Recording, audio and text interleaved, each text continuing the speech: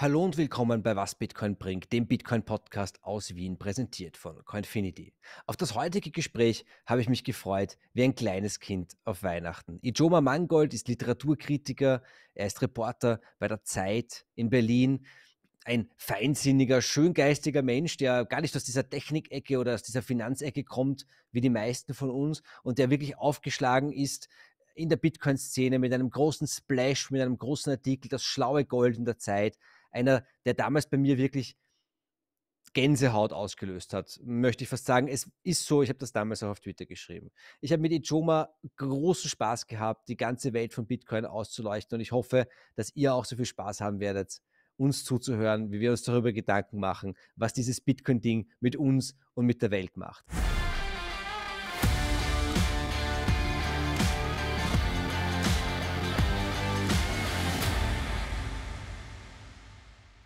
Es ist mir eine außerordentliche Freude, jetzt mit Ijoma Mangold äh, verbunden zu sein. Hallo Ijoma.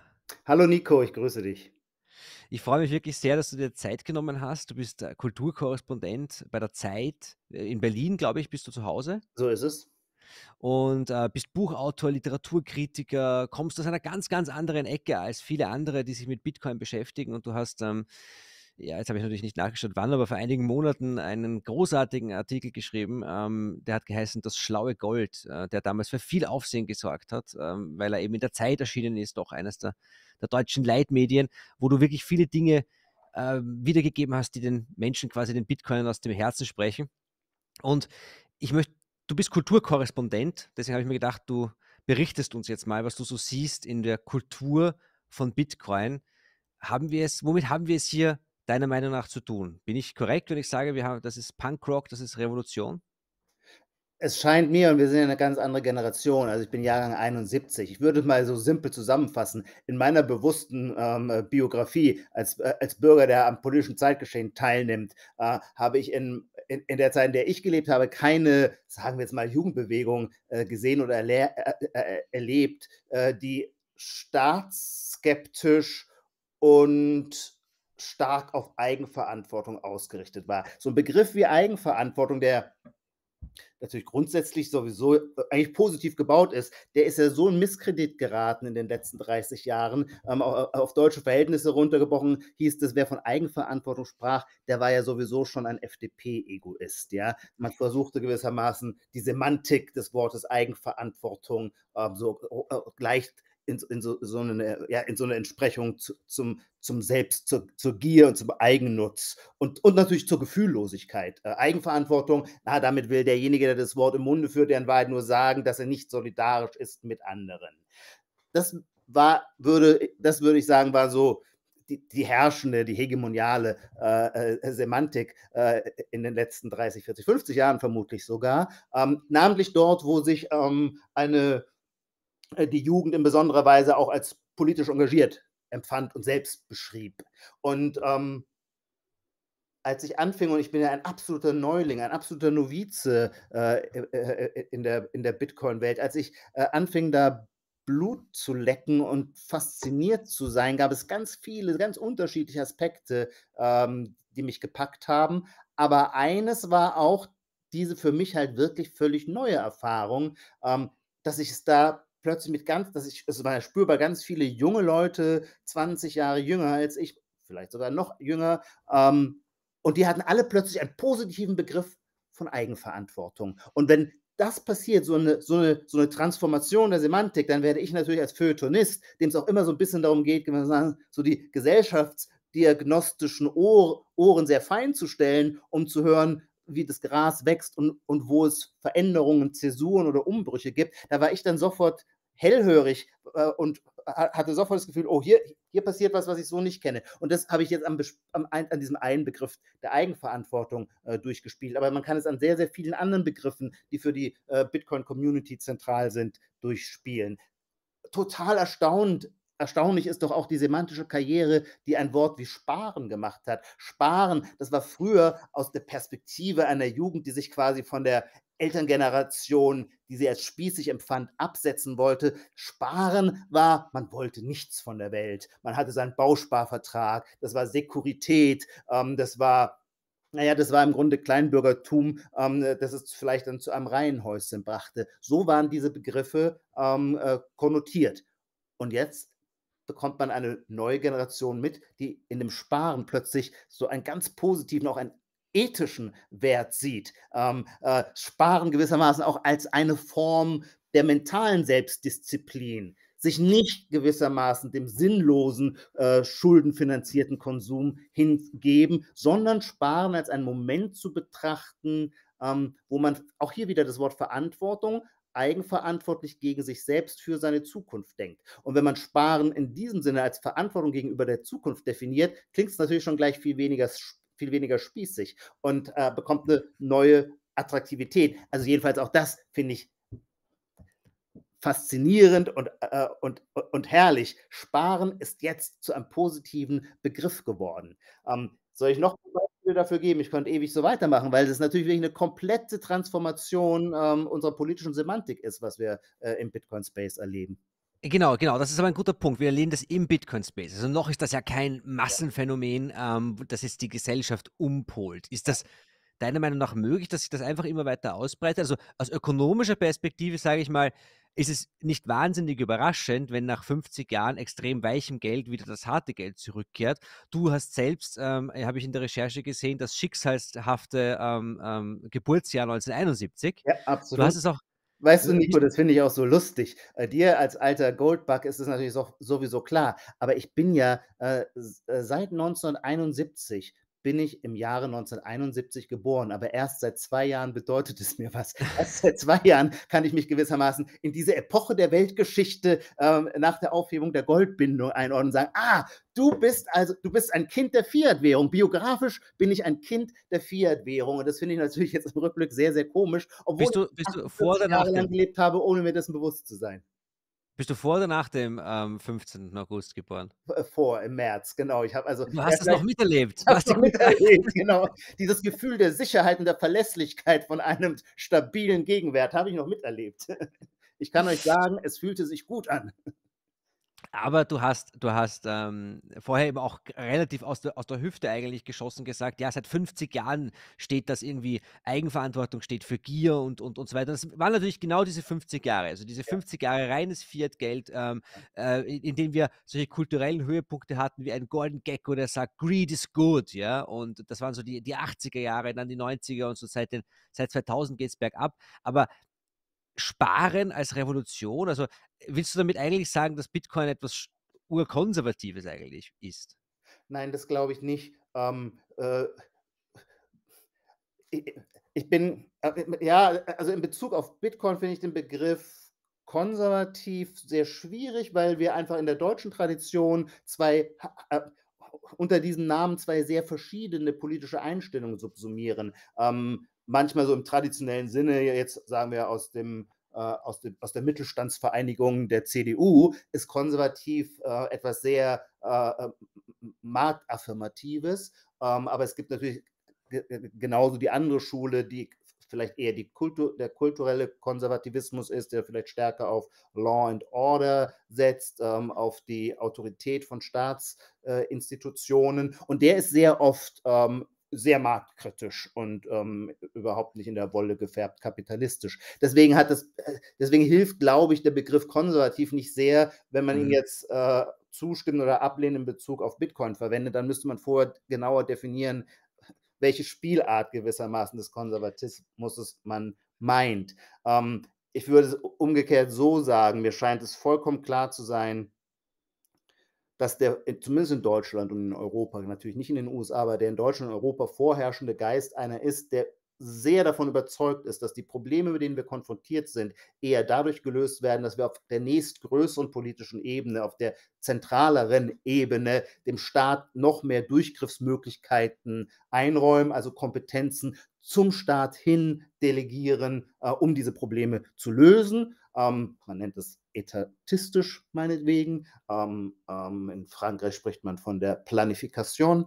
Und ähm, ich würde auch sagen, in meinem eigenen äh, Freundeskreis, ähm, äh, wo die Leute alle sehr viel linker sind als ich, ähm, ist man generell mit dieser Intuition, da, wird, da unterstelle ich, glaube ich, niemandem etwas, da ist diese Intuition, wenn es ein Problem gibt, sollten wir nach einer Lösung äh, suchen, die jetzt nicht auf der Eigeninitiative des einzelnen Bürgers basiert, sondern ähm, von staatlicher Seite was vorgibt. Diese Intuition ist, ist, schnell im Raum. Und in diesem Sinne scheint mir es eindeutig zu sein, ähm, dass Bitcoin in diesem Sinne natürlich nicht links ist, sondern eben ganz stark auf der Seite der dezentralen Eigenverantwortung. Die Frage wird ja oft gestellt, ist, ist Bitcoin politisch? Und ähm, da würde ich auch unbedingt sagen, als es ist eine Technologie und Technologien sind erstmal neutral. Ich würde auch nicht sagen, so wie die Erfindung der Elektrizität war das politisch. Nein, natürlich nicht. Das hat weder rechts noch links noch in irgendeiner Partei eingezahlt. Ließ sich in dem Sinne ja auch gar nicht politisieren. Es gab keine ähm, Elektropartei um die, um die vorletzte Jahrhundertwende. Ähm, das Internet selber ist das Internet selbst politisch glaube ich, kann man auch sagen, nein, als eine Technologie steht es gewissermaßen allen Strömungen äh, zur Verfügung und wird von allen Seiten gleichermaßen in den Griff genommen. Und in, in, diesem Sinne würde ich auch sagen, Bitcoin ist eine Technologie, allerdings, allerdings dann doch mit dieser eben einen Einschränkung. Ähm, die Technologie ist so bedeutend, weil sie zum ersten Mal eine radikale äh, Dezentralität ermöglicht. Von der konnte man vorher träumen, die konnte man vorher aber nicht technisch realisieren. Und dieses Moment der Dezentralität scheint mir, zumindest in meiner Interpretation, schon eine gewisse auch politische Voreinstellung zu bedingen, auf so einer Basisebene, eben wie ich gerade meinte, auf der, also die Dezentralität selber der scheint mir doch etwas, irgendetwas Politisches anzuhaften. Ab da ist man dann frei, damit zu machen, was man will. Da kann man ein äh, äh, äh, äh rechtslibertärer Texaner sein, ähm, äh, der der Meinung ist, dass man dadurch äh, die Kompetenzen des Staates dem Staatesgenick bricht oder wie Alec Gladstein ein äh, Menschenrechtler sein, der äh, darin ein, äh, ein, ein, ein, Mittel sieht, die anbankt, zu banken, wie es auf Englisch so schön heißt. Ähm, ab da gewissermaßen würde ich auch denken, ist es weltanschaulich neutral. Trotzdem scheint mir diese Dezentralität äh, doch eine politische Voreinstellung zu sein. Ich, ich versuche es mal, wenn, du, wenn, ich, wenn ich darf. Ja? ja. Ähm, ich mache mir darüber natürlich auch viele Gedanken, weil es gibt immer diese Diskussion, dann heißt es, ist, es ist rechts oder links oder oben oder unten. Und wir sind ja auch darauf konditioniert, genauso wie wir darauf konditioniert sind, für bei Problemen erstmal nach dem Staat zu rufen. Das heißt, die, äh, die Technologie ist natürlich unpolitische Technologie.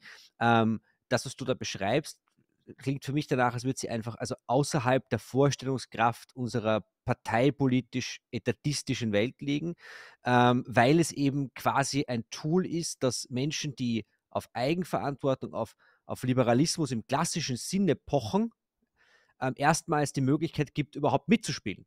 Ja. Indem es nämlich den Handlungsspielraum der Politik und des Staates langfristig einschränkt. Mhm. Und, und, und die, die Finanzierbarkeit politischer Ideen in Frage stellt, die ja, ja, vorher, also derzeit nicht auf dem Papier nicht in Frage stellt. Nicht? Wir drucken das Geld einfach und später kommt das Inflation bei der Masse an oder wir nehmen Schulden auf oder was auch immer.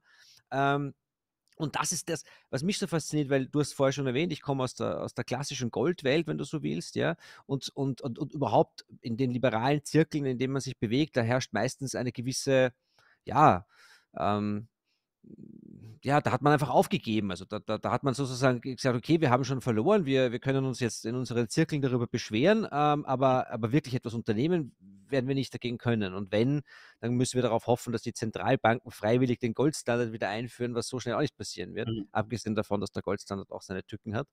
Ähm, das heißt, wir haben es hier wirklich schon in gewissem Sinne technologisch, ökonomisch und auch politisch mit etwas Neuem zu tun wenn du, so wie du die Fragestellung oder das Problem jetzt profiliert hast, ähm, und denke ich jetzt darüber nochmal nach und ich glaube, dann ziehe ich sogar meinen Satz zurück ähm, ähm, mit der Behauptung, dass, es, dass Bitcoin als Technologie unpolitisch ist. Denn du hast natürlich vollkommen recht. Und deswegen wird Bitcoin natürlich von links auch so gehasst weil die natürlich ganz klar sehen, dass eine ganz spezifische Form von Politik, nämlich eine Politik, die die Kosten in die Zukunft verschiebt und, und weil sie zu feige ist, den Leuten ähm, ihren Finanzbedarf als Steuern auf die Schultern zu legen und das deswegen das die Frage über die Schulden löst. Für diese Form von Politik, und das ist eine politische Richtung, wenn auch eine so, so, so große Großrichtung, dass man sie fast nicht mehr links nennen kann. Für diese Sorte von Politik ähm, stellt natürlich äh, ein Geld, das nicht mehr steuerbar oder kontrollierbar oder manipulierbar ist, weil es einfach und allein dem Code äh, gehorcht, eine erhebliche Bedrohung und Einschränkung ihrer Handlungsmöglichkeiten ähm, dar. Und das finde ich übrigens, soll man auch sehr ernst nehmen. Das soll man nicht einfach lächerlich machen. Da, das ist schon auch der Streit ums Ganze. Ähm, und ich bin mir meiner eigenen Intuition ja auch nie sicher. Und ich würde sagen, ich verstehe jeden, ähm, der nicht möchte, dass dem Staat dieses Mittel, diese Handlungsmöglichkeit aus der Hand geschlagen wird. Ich selber glaube, das ist genau das, was wir brauchen. Aber ich verstehe schon, ich kann die andere Mhm. Perspektive genau verstehen, die da sagt, warum soll, warum soll etwas gut sein, was die Handlungsmöglichkeiten des Staates begrenzt? Ja, weil der Staat ultimativ, wenn er wenn die Handelsmöglichkeiten nicht begrenzt sind, eine Gefahr für Leib und Leben darstellt. Das ist geschichtlich und relativ gut belegt. Also, es ist ja auch nicht so, dass die dass die wir reden ja nicht davon, das ist ja immer diese dieses Twitter-Niveau, nicht, ja? Nur weil du das staatliche Handeln ein wenig einschränken willst, weil du die Steuern ein wenig senken willst, Hm, landest du ja nicht automatisch irgendwie in der Anarchie. Also, das ist ja nur da geht's ja nur um um um Checks and Balances, wie wir sie hatten unterm Goldstandard, wie wir sie auch hatten, sage ich jetzt mal, mit der Bundesbank, die die legendär dafür war, wirklich dieses Modell einer unabhängigen Zentralbank gelebt zu haben, was allerdings den heutigen Zentralbanken eigentlich nicht mehr gelingt. Also, äh, es ist ja nicht die deutsche Schule, Ordoliberale et cetera, die haben das schon verstanden, dass es so etwas braucht und, ähm, nur das Problem ist bei Regeln, die Menschen machen, sie werden halt im Zweifelsfall gebrochen, ja, Naja, aber das meine ich halt. Äh, Bitcoin ist eine wahnsinnig starke oder kann zu einer wahnsinnig starken Disziplinierungs Maßnahme oder Macht für den Staat werden. Und wer äh, die Handlungsmöglichkeiten des Staates nicht diszipliniert sehen möchte, weil er glaubt, dass die Probleme am besten durch ihn zu lösen sind, der wird folglich das für eine ungute Entwicklung halten. Ich bin nicht dessen Meinung, aber ich finde die Argumentation, die Logik, die in diesem Gedanken ja. steht, konsistent und ich, und ich möchte die auch würdigen im Sinne von, weißt du, was ich nie, was, wogegen ich mein Leben lang immer versuche, für mich selber aus Psychohygiene gewissermaßen anzukommen, ist, dass ich den politischen Gegner in irgendeiner Weise dämonisiere. Und, das, und das, dazu sind wir alle immer sehr verführt. Und ein Mittel habe ich für mich herausgefunden, das hilft, da, dass das nicht so stark passiert, ist halt irgendwie immer die, die, diese Unterscheidung zu treffen, sagen, okay, ich verstehe die Logik, die dein Denken Mhm. bestimmt. Ich habe eine ganz andere Einschätzung und deswegen komme ich zu ganz anderen Ergebnissen. Aber ich verstehe deine Logik und dann muss ich denjenigen nicht so in den Senkel stellen und damit fühle ich mich wohler. In der Sache sind wir einer Meinung. Ich glaube auch, Aber ja. Wo siehst du denn wo dann lass uns das doch vom äh, das das das das Pferd von der anderen Seite aufzäumen. Ich habe ja auch, äh, viele linke Freunde und und und, äh, ich komme ja so wie du aus den Medien und da kommt man um linke Freunde nicht herum. Ja. Aber die die, äh, links ist auch so ein das meine ich auch überhaupt nicht böse, also um Gottes Willen, ja.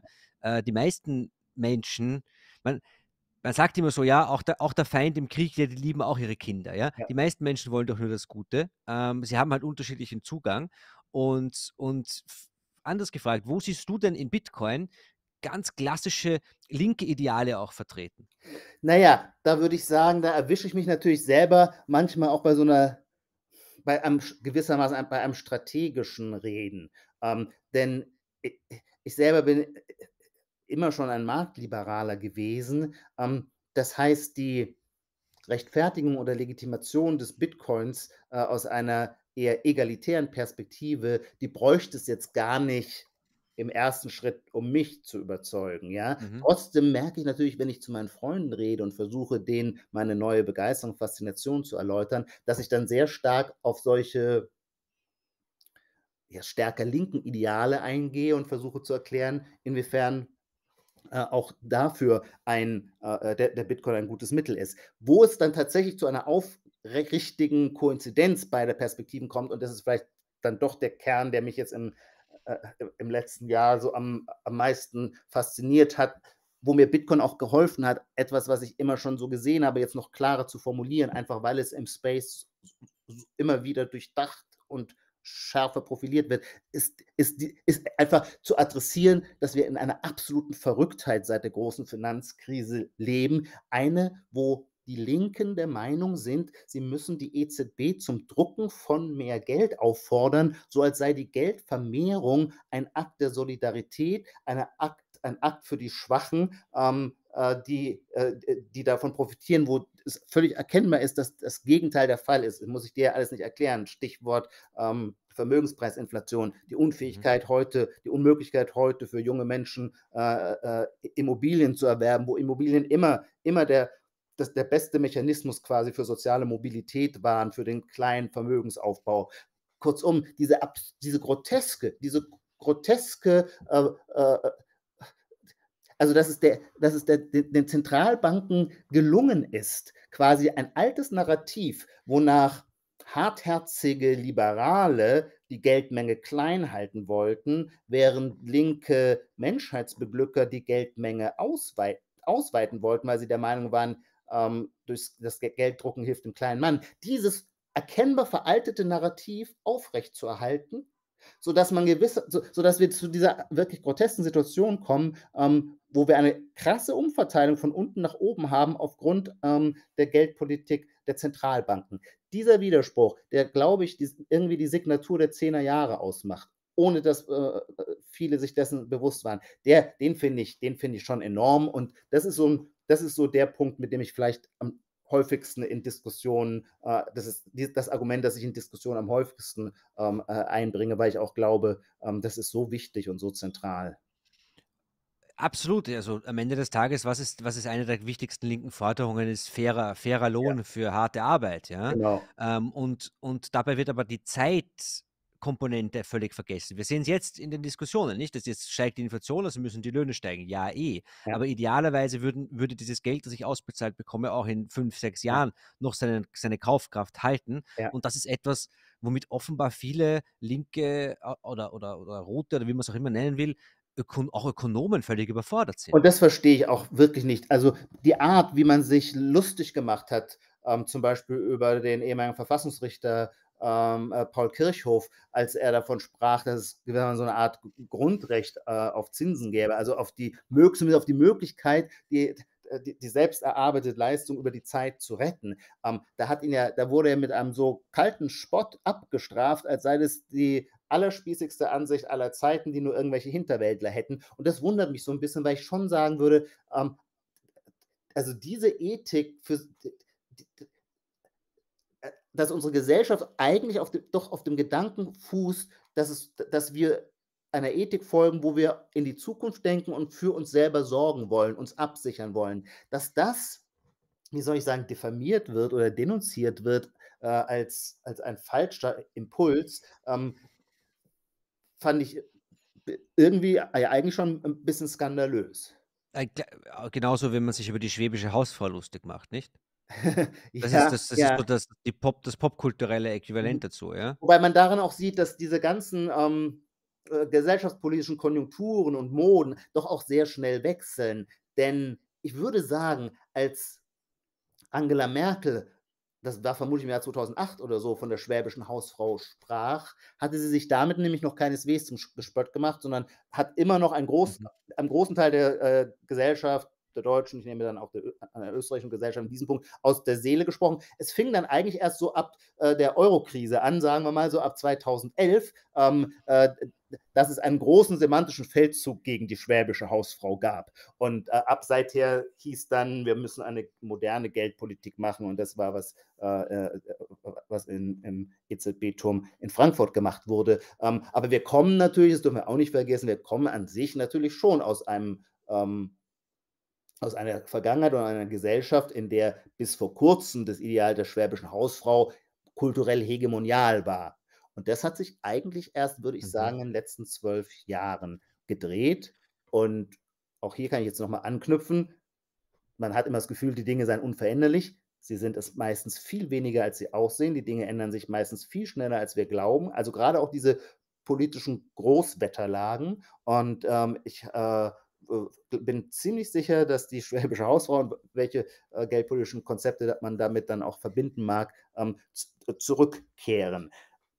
Das ist ja, das ist ja das Faszinierende für mich auch an Bitcoin. Du hast vorhin danach gefragt, also die, die in diesem Sinne sind wir, bin ich auch, bin ich äh, auch irgendwie Marxist. Ich glaube, im Marxismus gibt es immer diese Vorstellung, dass die Revolutionäre die Avantgarde sind. Ähm, und dann äh, ist von dem Transmissionsriemen, ich glaube, Lenin hat davon gesprochen, da braucht es den Transmissionsriemen, der äh, diese Energie der Avantgarde überträgt äh, auf, die, auf die Breite der Bevölkerung. Um, ähm, und der italienische marxistische Kulturtheoretiker äh, Antonio Gramsci hat diesen Gedanken ganz stark aufgenommen und dann reformuliert mit dem Begriff der kulturellen Hegemonie, die nämlich im Grunde davon ausgeht, dass es doch die Ideen sind, die die Welt sehr stark prägen und ähm, der Wandel dieser Ideen stattfindet, vielleicht nicht ganz so schnell, dass man ihn immer mit bloßem Auge sieht, aber es lohnt sich zumindest an der kulturellen Hegemonie zu arbeiten. Äh, ein Konzept, das dann interessanterweise, das ist vielfach beschrieben worden, äh, in den Nullerjahren die neue Rechte aufgenommen hat,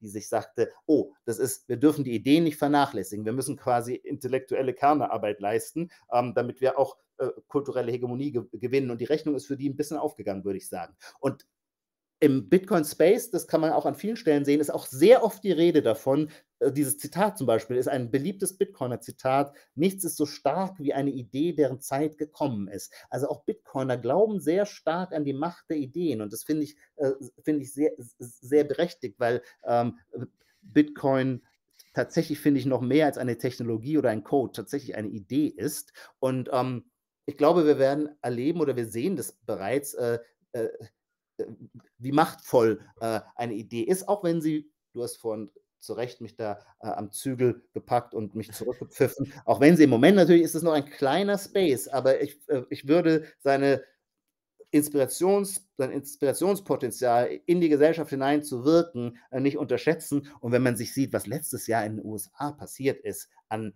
Wandel des politischen Establishments in seinem Verhältnis ähm, zu Kryptowährungen und zum Bitcoin, ähm, dann äh, würde ich sagen, im Jahr 2020 hätten wir uns das so nicht vorstellen können. Im Jahr 2020, ich weiß es dasselbe von mir, als ich anfing, äh, mich mit Bitcoin zu beschäftigen und auch die Frage stellte, wie viel von meinem eigenen Ersparten ich da reinbringen will, äh, war natürlich das, die Hauptfrage für mich immer, okay, das große Risiko ist, wenn, was, was, wenn er verboten wird? Und ähm, da, bin ich jetzt nicht der Einzige. Ich ne, habe das Gefühl, kein Mensch, im, äh, äh, kein Mensch, der Bitcoin besitzt, denkt noch über diese Frage nach. Uns treiben vielleicht oder mich treiben ganz andere Fragen, auch verunsichernde Zweifelsfragen um, aber die haben nichts mehr mit einem staatlichen Verbot zu tun, selbst wenn die EU jetzt noch irgendwie eine besonders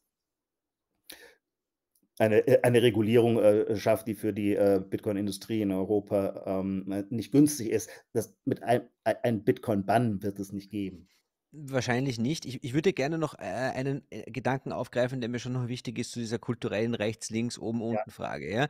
Ähm, du hast natürlich, und das ist auch für mich immer wahnsinnig schwer feststellbar, warum so viele, so viele Linke sagen, ja, drucken wir mehr Geld, mehr Inflation, Ja. mehr Schulden, ähm, weil das ja schlecht ist. Aber es ist schon eine Art, ohne es vielleicht zu wissen, auch eine Allianz durchaus mit der Wirtschaft.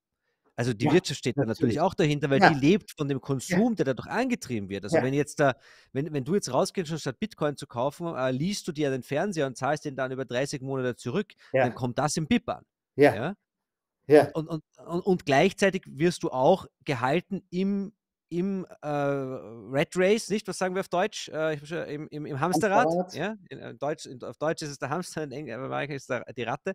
Wirst du gehalten im Hamsterrad, damit du das auch abbezahlst und bist deswegen natürlich auch ein, ein, ein, ein guter Arbeitnehmer, nicht? Der, der, der eher nicht aufmuckt und so weiter. Also da ist schon eine Allianz da.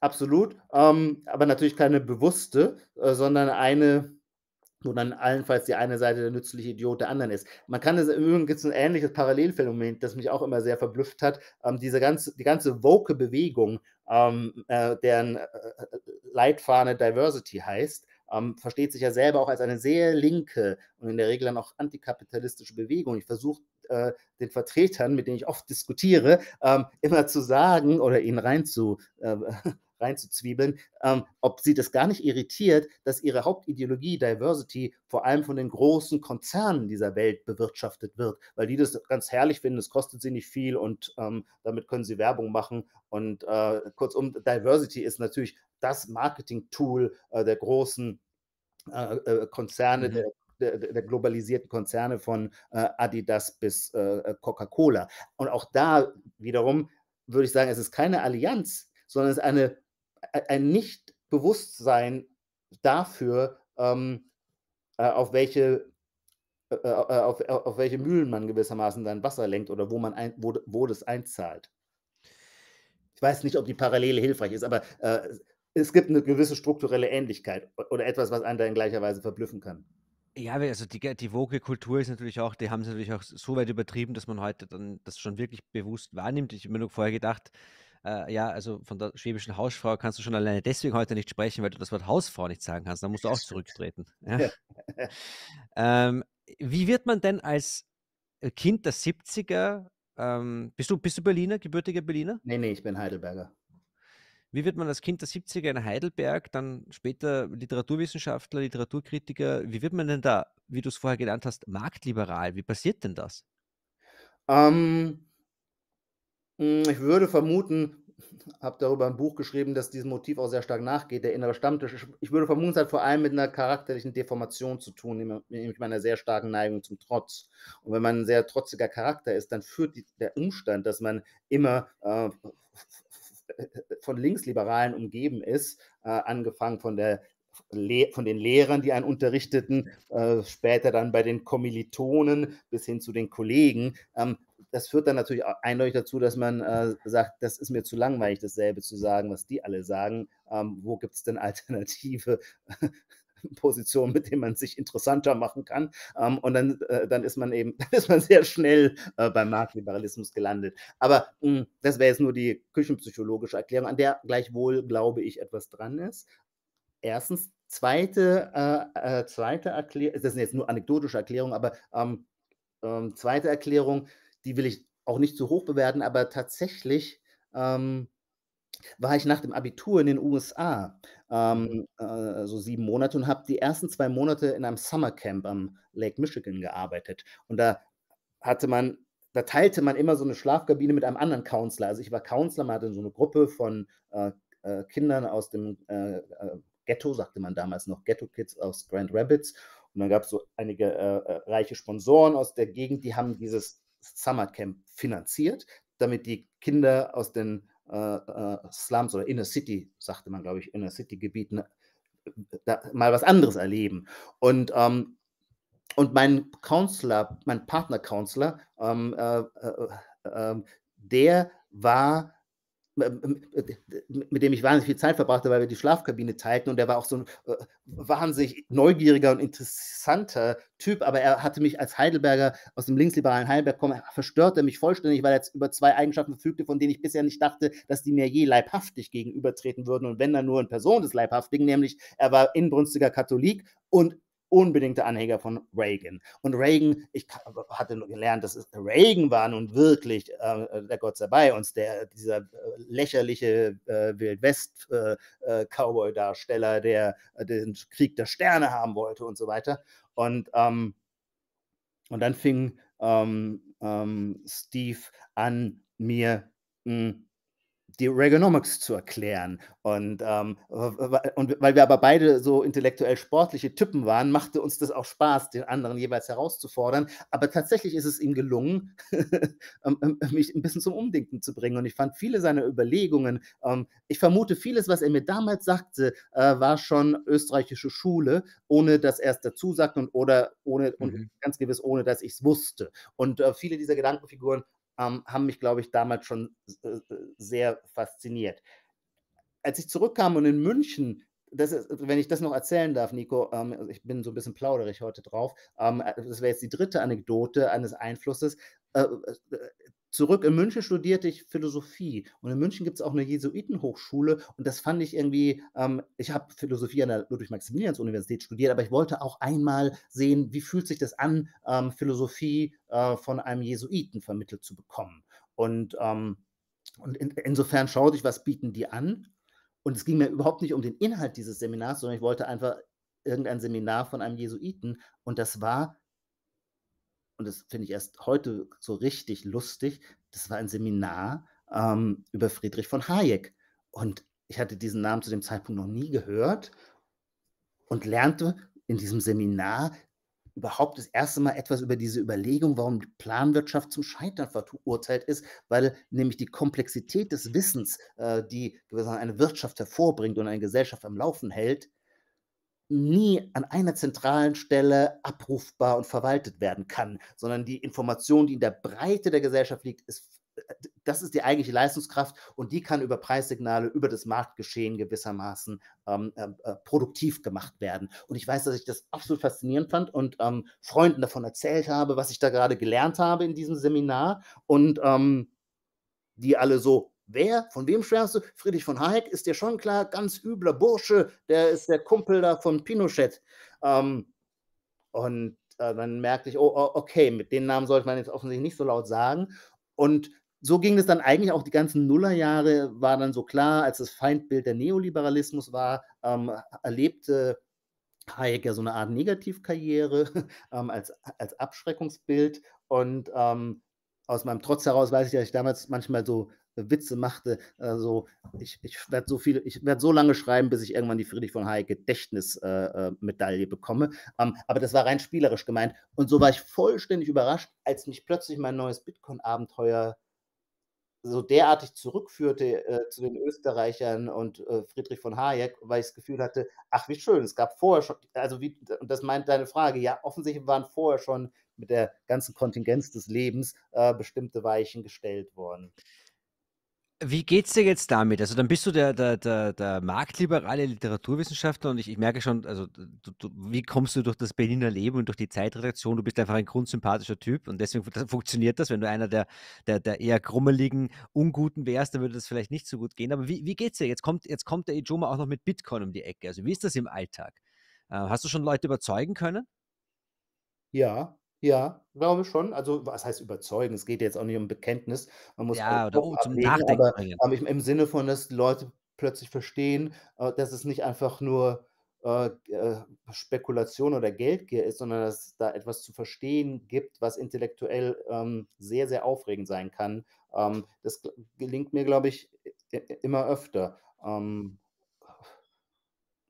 ja. ein, ein, ein, ein toller Auftritt war auch beim, beim Schweizer Fernsehen, Sternstunde Philosophie, vor, ein- vor ein paar Wochen, als du, als du mit einem Techniker von der ETH, wenn ich mich recht entsinne, ähm, Ja, diskutiert hast.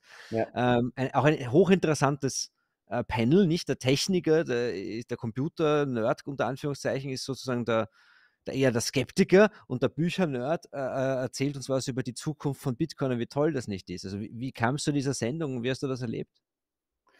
Ähm, das war die Sternstunde der Philosophie und ich war, ähm letztes Jahr im irgendwann im Frühsommer letzten Jahres war ich schon mal in der Sendung, ähm, ähm, äh, von Barbara Bleisch und Wolfram Eilenberger moderiert, zwei wunderbare Philosophen und, äh, äh, und und Moderatoren.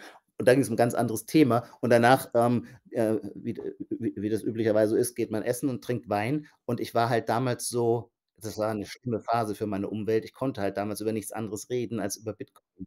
Ähm, und so fing ich halt auch da an dem Tisch wieder an und, ähm, die beiden fanden das total faszinierend und meinen: „Was? Ach, echt? Wow, darüber sollten wir mal 'ne Sendung machen.“ So so so so ist das das war die Genese. Und dann, äh, hat Wolfram Eilenberger überlegt: „Na ja, wen kann man da noch dazu einladen?“ Und, ähm, deswegen wurde Herr, äh, äh, Wattenhofer, äh, von der Informatiker von der hochintelligente Informatiker von der ETH eingeladen. Und das fand ich 'ne wahnsinnig tolle Konstellation, weil deine Verdienste sind, ähm, unbestritten die sind sehr groß. Ähm, an seinem Lehrstuhl, äh, ist das Lightning-System mitentwickelt worden. Also, der Mhm. versteht von der Sache wahnsinnig viel, hat aber gar nicht diese hm, diesen euphorischen Schwung, äh, äh, äh, in der Technologie etwas, äh, Weltumwandelndes zu sehen, sondern ist da immer, äh, auch im Übrigen natürlich mit so 'ner gewissen, äh, auch angenehmen Schweizer Nüchternheit, ähm, äh, äh, bisschen skeptisch, sodass mir, dem Geisteswissenschaftler, äh, der s de wo ja die traditionelle Rollenverteilung ist, dass die Geisteswissenschaftler bewirtschaften immer die Angst vor der Technologie, ja?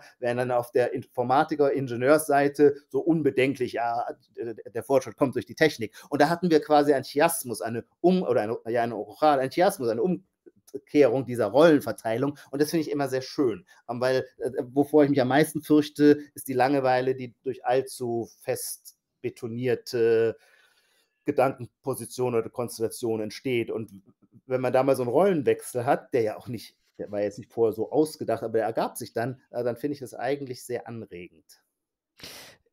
Hattest du Angst, dass du da dann vor laufenden Kameras sitzt und dir der, der, der ITler Dinge erklärt, die, die sozusagen, die, noch, die du noch nicht bedacht hast, wo du dann deine, deine Meinung komplett ändern musst? Ja, absolut. Ähm, das hatte ich. Ähm, das da, damit muss ich jetzt aber immer leben. Ähm, die Leute sind im Übrigen noch nachsichtiger, wenn man auf der technologischen Seite was nicht versteht. Heikler wird es natürlich schon bei der ökonomischen, bei der ich ja natürlich genauso kompletter Laie bin, aber es macht gar keinen Sinn, sich für Bitcoin zu begeistern, ohne nicht anzufangen, über Geldtheorie nachzudenken. Und wenn man äh, sich da einarbeitet, dann wird man irgendwann auch mal äh, äh, irgendeinen besserwisserischen Satz zu diesem Thema sagen und dann ist der möglicherweise auch noch falsch und das ist ja peinlich, ja. Das Risiko das wird immer wieder mir passieren, ist mir bestimmt auch schon ganz oft passiert, aber ähm, das Risiko bin ich bereit einzugehen, weil sonst könnte ich mich jetzt gar nicht mehr zu Wort melden. Und ich habe aber eine, wie soll ich sagen, eine Hilfskonstruktion, ist es eine Hilfskonstruktion oder so eine, ich habe ein gutes Alibi ähm, mir zurechtgelegt. Ähm, nämlich, das Argument ist eigentlich ganz geschickt gebaut. Ich glaube, da kann man, da kann man mir auch nicht reingrätschen. Die Idee eines demokratischen Gemeinwesens ist doch, dass die Bürger an allen entscheidenden Fragen partizipieren durch ihre Meinung. Wir wollen keine technokratische Regierung, wir wollen kein, keine Expertenherrschaft, so wie Platons Vorstellung des Philosophenstaats, sondern wir wollen, dass die Bürger sich eine Meinung bilden zu den Issues, äh, zu den Angelegenheiten der Respublika. Die Bürger sind aber immer als Laien äh, bei diesen Diskussionen dabei. Natürlich bin ich kein Solarexperte, trotzdem habe ich eine Meinung zu erneuerbaren Energien. Ich muss die auch haben, um äh, zu entscheiden, ob ich lieber die FDP oder lieber die Grünen wähle. So, das ist und das ist auch akzeptiert in der Gesellschaft. Bei allen Themen. Es ist akzeptiert, dass wir keine Experten sein müssen, um eine Meinung zu haben. Nur bei der Geldpolitik scheint es mir anders zu sein. Und das ist so verrückt. Und zwar, die wird ja auch, die in ganz starker Weise dethematisiert in gewisser Weise. Also man, ähm, man gibt sich wirtschaftspolitische Stammtischschlachten, ja, aber ähm, das Funktionieren des Geldsystems dahinter spielt immer kaum eine Rolle. Und da würde ich jetzt eben sagen, das kann nicht sein. Das Geldsystem ist so basal für unser Gemeinwesen, auch mhm. das muss einer laienhaften Meinung zugänglich sein, wie alle anderen politischen Fragen auch. Und deswegen nehme ich einfach als engagierter Zeitgenosse und Bürger dieses Gemeinwesens mir das Recht heraus, eine Meinung äh, zur Geldpolitik der EZB zu haben. Also das ist ein, ein ganz, ganz wichtiger Punkt, der mich auch schon als, als, als Wirtschaftsjournalist auch immer gestört hat, der sich eben ganz direkt mit dem Geldsystem beschäftigt hat, ähm, dass die Ökonomen das überhaupt nicht interessiert. Ja. Also es gibt so, es gibt 100.000 Ökonomen und ja. irgendwie alle von ihnen ähm, gehen davon aus, ja, Geld kommt bei der Notenbank raus. Und dann fangen wir an ja. zu rechnen. So, ja? ja. Ähm, und, und meine Theorie dazu ist, das ist wirklich keine harmlose. Es gab da mal den, der, der ist gestorben, äh, der belgisch-amerikanische Ökonom Bernhard Lieta. Mhm. Ähm, da gibt es ein Video von ihm auf, auf YouTube, das kann man sich anschauen. Ähm, da hat er angefangen, Fragen zu stellen. Und er war schon relativ bekannt äh, mhm. als, als Ökonom. Und er erzählt so auf der Bühne, wie er dann einen Anruf von Paul Krugman bekommt. Mhm. Und Paul Krugman sagt ihm, What are you doing, Bernard? What are you doing? We do not talk about the money system. You'll yeah. never get any, any, any awards. Ja? ähm, und, und, das, und das passt nämlich. Also die, der Grund dafür ist schlicht und einfach, ähm, die, die meisten Ökonomen arbeiten direkt im Fiat-Money-System, meistens direkt bei der Notenbank. Also da kommst du nicht auf die Idee, die Hand zu beißen, ähm, die, dich, die dich füttert. Erst recht, wenn du mit dem, womit sie dich füttert, noch genug zu spielen hast. Ja? Aber Nikos gäbe zwei Erklärungen. Die eine ist die, die du anführst. Die wollen das verstecken, damit es keiner äh, mitbekommt. Die andere ist, und ich habe weil ich fange natürlich jetzt mittlerweile an, auch äh, lauter Volkswirte, die mir begegnen, immer mit diesen Fragen zu löchern. Und es soll nicht äh, eher abschneidend klingen, aber ich habe den Eindruck, die viele davon wissen es auch einfach gar nicht. Also die, die, die äh, wissen es nicht, dass sie nicht öffentlich darüber reden wollen, sondern sie machen sich, also ganz viele der Fragen, die sich mir aufdrängen durch äh, ungesund übermäßigen Konsum von Bitcoin-Podcasts ähm, äh, weltweit, ähm, mit diesen Fragen gehe ich dann immer, wo sich mir die Gelegenheit ergibt, zu irgendwelchen Erfolgswirten. Und äh, in der Regel ist es nicht so, dass die dann einfach sagen, so ein Unsinn, also die Sache sieht so und so aus, sondern die verstehen meistens die Fragen, mit denen ich ankomme, schon gar nicht. Als würden, die brennen ihnen gar nicht unter den, unter den Nägeln. Und das finde ich, das, das treibt mich in letzter Zeit sehr, sehr um, weil ich zugebe, dass ich manchmal auch das Gefühl habe, mit meinen äh, neuesten Ansichten so ein bisschen natürlich die Gefahr ist, ist bin ich selber der Geisterfahrer? Ähm, bin ich Mhm, äh, mhm. quasi äh, äh, brainwashed von einer äh, Sekte ähm, namens Bitcoin und äh, bete deren äh, Glaubenssätze nach, äh, während natürlich die ganze Welt um mich herum mit ihren akademischen Titeln und Zertifikaten und äh, ihrem Expertenwissen ähm, äh, äh, äh, weiß, dass das reiner Mumpitz ist, dann wäre ich der Geisterfahrer. Das, die, diese Angst, namentlich, weißt du, wäre ich Brückenbauer, wäre das vielleicht nicht so schlimm, aber mein Beruf ist ja tatsächlich ein bisschen öffentlich, und zwar öffentliche Meinung vorzuführen. Das heißt, die Gefahr, Ja. äh, sich absolut lächerlich zu machen, ist schon dann auch eine existenzielle. Ja, die ka- kann man kann ich nicht so ganz leicht auf die äh, kann ich nicht so ganz auf die leichte Schulter nehmen. Und und dann versuche ich mir immer das genau anzuschauen, weil es ist vollkommen klar, woher ich meine neuen Informationen und Argumente und Meinungsbilder habe. Die sind, das macht Bitcoin aus, im, äh, äh, zu einem erheblichen Teil entstehen die äh, in der Podcast-Sphäre, die unglaublich produktiv ist. Darüber können wir gerne, wenn wir Zeit haben, auch noch reden, weil das macht auch für mich ganz viel der Begeisterung aus, wie sich äh, die Idee Bitcoin äh, als, ein, als eine Podcast-Evolution gewissermaßen verbreitet, Mhm. wo jeder von überall auf der. Welt etwas beitragen kann. Aber kurzum, ich will sagen, ich weiß, woher ich meine Informationen habe und dann schaue ich mir natürlich auch die an, wer sind die Leute, die diese, diese äh, Überlegung anstellen. Und da fällt mir sehr grob etwas auf. Ähm, es sind in der Regel du bist die Ausnahme für den deutschen Raum und ich hoffe, dass du diese Seite noch sehr viel stärker machst. Es sind in der Regel in, Amer in der amerikanischen Podcast-Welt ähm, keine Professoren, niemand, der von der Universität kommt, sondern es sind in der Regel Analysten oder Hedgefondsmanager, Leute, die irgendwie aus dem praktischen Investieren kommen, ähm, die all diese Fragen ähm, zu, zu, den Staatsschulden, ähm, zum, zum, äh, äh, zu den Treasuries ähm, äh, stellen, zur Zinspolitik stellen. Es sind dann, wenn überhaupt in Deutschland oder im deutschsprachigen Raum, auch sehr interessant, wenn es mal Professoren sind, dann sind sie sehr oft Schweizer. Ich habe das nicht Mhm. nachgeprüft, das ist jetzt meine subjektive Empirie. Ähm, sind sehr oft Schweizer, es sind aber so gut wie nie Professoren von, mit wenigen Ausnahmen, Professoren äh, von äh, deutschen Hochschulen. Das heißt, eine Erfahrung, die ich als Geisteswissenschaftler natürlich in den letzten zehn Jahren in Bezug auf die Geisteswissenschaften schon gemacht habe, äh, dass die Akademie sehr homogen ist in ihren äh, intellektuellen Weltbildern. Bisher dachte ich immer, naja, das ist, das ist die Erbärmlichkeit der Geisteswissenschaften. Jetzt habe ich das Gefühl, das gilt genauso für die akademischen Volkswirtschaft, Volkswiss, Volkswirtschaftswissenschaften, ähm, Fakultäten ähm, äh, in Deutschland. Ein Gegenbeispiel wäre zum Beispiel Thomas Mayer, ähm, frühere Chefvolkswirt der Deutschen Bank, auch wieder niemand, der von der Universität kommt. Ähm, also die Frage, das finde ich eben dann doch interessant, wo, wo findet eigentlich überraschendes heterodoxes Denken statt? Wofür wir ja eigentlich die Universitäten finanzieren, das ist doch die Idee. Warum sind Professoren Beamte auf Lebenszeit? damit sie sehr, sehr, sehr verrückten Gedanken nachgehen können, die vielleicht falsch sind und mit, über die sie stolpern und äh, die, von denen sie sich dann wieder trennen müssen. Das ist ja eigentlich die Idee hinter diesem äh, Finanzierungsmodell. Im Ergebnis äh, produziert die Universität aber in erstaunlich hohem Maße Homogenität. Und das finde ich natürlich ein bisschen enttäuschend. Du hast ja vorher die, diese Kraft und die Macht der Idee an sich ähm, beschrieben, ähm, aus, aus, aus marxistischer Sicht, aber auch, auch Ludwig von Mises, der alte Austrian, Ja. ähm, hat dazu einige kraftvolle ähm, ähm, Ja. Zitate hinterlassen. Ja? Ähm, und, und, und es scheint so, als würde er vielleicht recht haben bei dieser Bitcoin-Geschichte.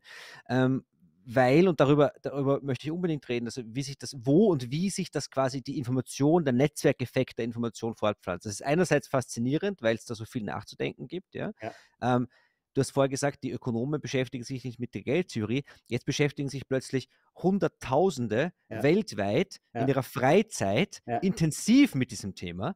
Und damit konnte wirklich niemand rechnen. Ja. Absolut. Ähm, und, und, und sie bedienen sich dabei ähm, neuen Technologien, neuen Medien, die wirklich und ich, mich hat das immer schon fasziniert. Also ich bin, ich bin, ich wollte immer nur Journalist werden, das war mein, mein, mein Lebensziel. Ja. Aber mich hat immer schon fasziniert, dass dann das Internet aufkam. Ich war damals in, noch in der Schule. Ähm, hier kannst du eine eigene Website machen, du machst, dann machst du einen Blog, dann bist du auf Twitter, jetzt machst du Newsletter, Podcast, YouTube. Also die, die Tatsache, dass ich auf, auf, gut Deutsch, die Tatsache, dass ich kein Medium mehr brauche, um da, mit der Welt zu kommunizieren, ist einfach, ist für mich großartig. Ja. Und, und ich bin ja. in der privilegierten Position, das jetzt auch machen zu können. Übrigens über die, diese existenziellen Gedanken brauchst du mir nicht zu erzählen, weil ich, ich rede auch in der Öffentlichkeit darüber, ja. ja. Ähm, und ich schütze mich dann zumindest, dass ich sage, okay, ich mache Bitcoin, aber nicht den Rest der Kryptowelt und solche Dinge, aber gut. Ähm, wo, wo fangen wir vielleicht persönlich an, weil Bitcoin ist immer eine sehr persönliche Geschichte. Also, wo, hast, wo hat deine Reise in dieses mediale Rabbit Hole auch begonnen? Wann hast du, wie bist du bei Bitcoin aufgeschlagen? Was war so der erste Podcast, den du gehört hast? Weißt du das noch? Ah, das ist, das ist, obwohl es noch nicht lange zurückliegt. Wenn man etwas das erste Mal macht, ist das Problem ja, dass man in dem Moment nicht weiß, dass man es das erste Mal macht. Außer dann, eine Sache. ja, ja, ja. Wenn es da so ein ganz klares erste Mal nur immer gäbe. Ähm, ich muss wirklich nachdenken, aber ich weiß natürlich, es war ein englischer Podcast. Es war auf jeden Fall ähm, Guy Swan. Wie heißt denn der Bitcoin? Bitcoin Audible. Bitcoin Audible, ah ja, genau. Mhm. Der war, stimmt, der hat mich am Anfang am stärksten beeindruckt. Interessanterweise bin ich dem am stärksten untreu geworden. Ich kann nicht genau sagen, warum. Die intellektuelle Substanz oder das Niveau ist ja wahnsinnig hoch. Vielleicht also Guy Swan, Guy Swan liest, also damit jetzt mal auch, auch erklären, mhm. äh, Guy Swan hat, äh, der Amerikaner, der liest Texte aus der Bitcoin-Welt vor, quasi nach, na, als Audiobuch, hat glaube ich schon 500 Folgen mhm. und ist ein derartiger liest toll und spricht dann auch ohne mhm. Äs, ohne Absatz perfekte äh, äh, Er erläutert das, was er vorliest, später auch und kommentiert es. Ja. ja. Vielleicht bist du ihm abtrünnig geworden, weil einfach, es einfach zu viel ist. ist einfach Vielleicht, viel. das könnte sein. Ich weiß aber, durch ihn habe ich äh, Gigi kennengelernt und ähm, das war, ähm, glaube ich, so äh, äh, eine der machtvollsten Konfrontationen mit einer Idee. Also diese, ganz, diese ganze Überlegung, ähm, äh, was ist der, das Energie der einzige Link zwischen der physischen und der digitalen Welt ist. Ähm, darüber hatte ich vorher nie nachgedacht. Es gab gewissermaßen auch gar keinen Anlass, darüber nachzudenken. Und dass das aber der Clou von äh, Proof of Work ist, ähm, das, die, diesen Gedanken ähm, auszukosten, quasi wie einen sehr, sehr guten, reifen Schluck Wein, ähm, äh, davon, ja, den kann man, den, diesen Gedanken kann man äh, wie ein Schluck Wein gar nicht lang genug im Mund haben und darauf herumkauen. Ähm, aus dem äh, lässt sich, glaube ich, viel entfalten. Ähm, ja, deswegen bin ich doch äh, äh, Guy Swan auch sehr, sehr dankbar, weil er äh, äh, mir Gigi näher gebracht hat. Aber ich weiß in dieser frühen Phase, ach, da gab es viele tolle Sachen, die, die, er vorlas, zum Beispiel auch von einem Anthropologen, ähm, der eine anthropologische These zu Bitcoin hatte. Das hatte mich damals auch so fasziniert, weil ich auch, weil, weil ich dann sah, ach so, es gibt viele verschiedene Zugänge. Jeder, jeder, jede Fakultät der Universität, wenn man so möchte. Je, jede Gedankenwelt kann, kann sich einen eigenen äh, Zugang da erarbeiten. Robert Breedlove hat natürlich eine große Rolle gespielt. Ähm, uh, What is Money? Ähm, und dann kommt man relativ bald. Das ist auch eine interessante Erfahrung. Ja, ach, ja genau, dann kommt man natürlich relativ bald zu, zu Michael Saylor und ähm, der verkörpert für mich vielleicht am besten ähm, oder an dem kann ich am stärksten meine eigene Affiziertheit und Wandlung ablesen, weil für mich ist natürlich ähm, dieses Eintreten in diese Bitcoin-Welt auch eine mit äh, einem kulturellen Fremden ähm, auf vielen Ebenen. Auf der simpelsten und einfachsten natürlich, ich bin eigentlich in der Regel immer älter, das stimmt nicht so ganz, aber oft wenn ich die äh, äh, Jungs von äh, 21 habe, dann sind die einfach viel, viel jünger als ich. So, es gibt also ein, äh, ein Generation. Außer Markus Turm, aus der, der ist, ist, ungefähr in deinem Alter. Recht? Ach, ich habe den immer viel jünger eingeschätzt. Nein, nein, ich weiß, ich weiß, vielleicht, er ist wahrscheinlich jünger. Ich will, ihn, ich will ihn nur ärgern. Ich will ihn nur ärgern, wenn er noch zuhört. Äh, also sowas Generationelles, aber dann viel stärker, naja, ich bin ja wie gesagt, ein Geisteswissenschaftler. Ich komme aus der Welt des Feuilletons. Die hat sowohl mit der äh, IT-Seite von Bitcoin wie mit der Ökon Ökonomie-Seite von Bitcoin gar nichts zu tun. Das sind auch einfach andere, andere Habitus, andere, anderes Vokabular, andere Redeweisen, andere Witze, andere Ironien und so weiter. Ähm, aber das ist etwas, was mir immer gefällt. Ich, ich, ich, ich gehe immer ein wie eine Pflanze, die nicht gegossen wird, wenn ich zu sehr äh, von meinesgleichen umgeben bin. Und finde es deswegen eigentlich immer, ich weiß, ich hatte mal vor zwei Jahren also ein kleines Häuschen auf dem Land gekauft und hatte dann ständig Handwerker da. Und ich muss sagen, ich fand es so, so wohltuend, erfrischend, einfach mal so einen anderen, äh, einen anderen Kommunikationscode zu haben. Und ich äh, stand quasi immer neben den Handwerkern, einfach um mit denen zu reden, um, man, um neue Worte, neue Vokabulars, neue Gedankengänge kennenzulernen. Und so ein bisschen äh, diese Art der kulturellen, äh, des kulturellen Fremdens gibt es natürlich auch in, in Bezug auf, auf,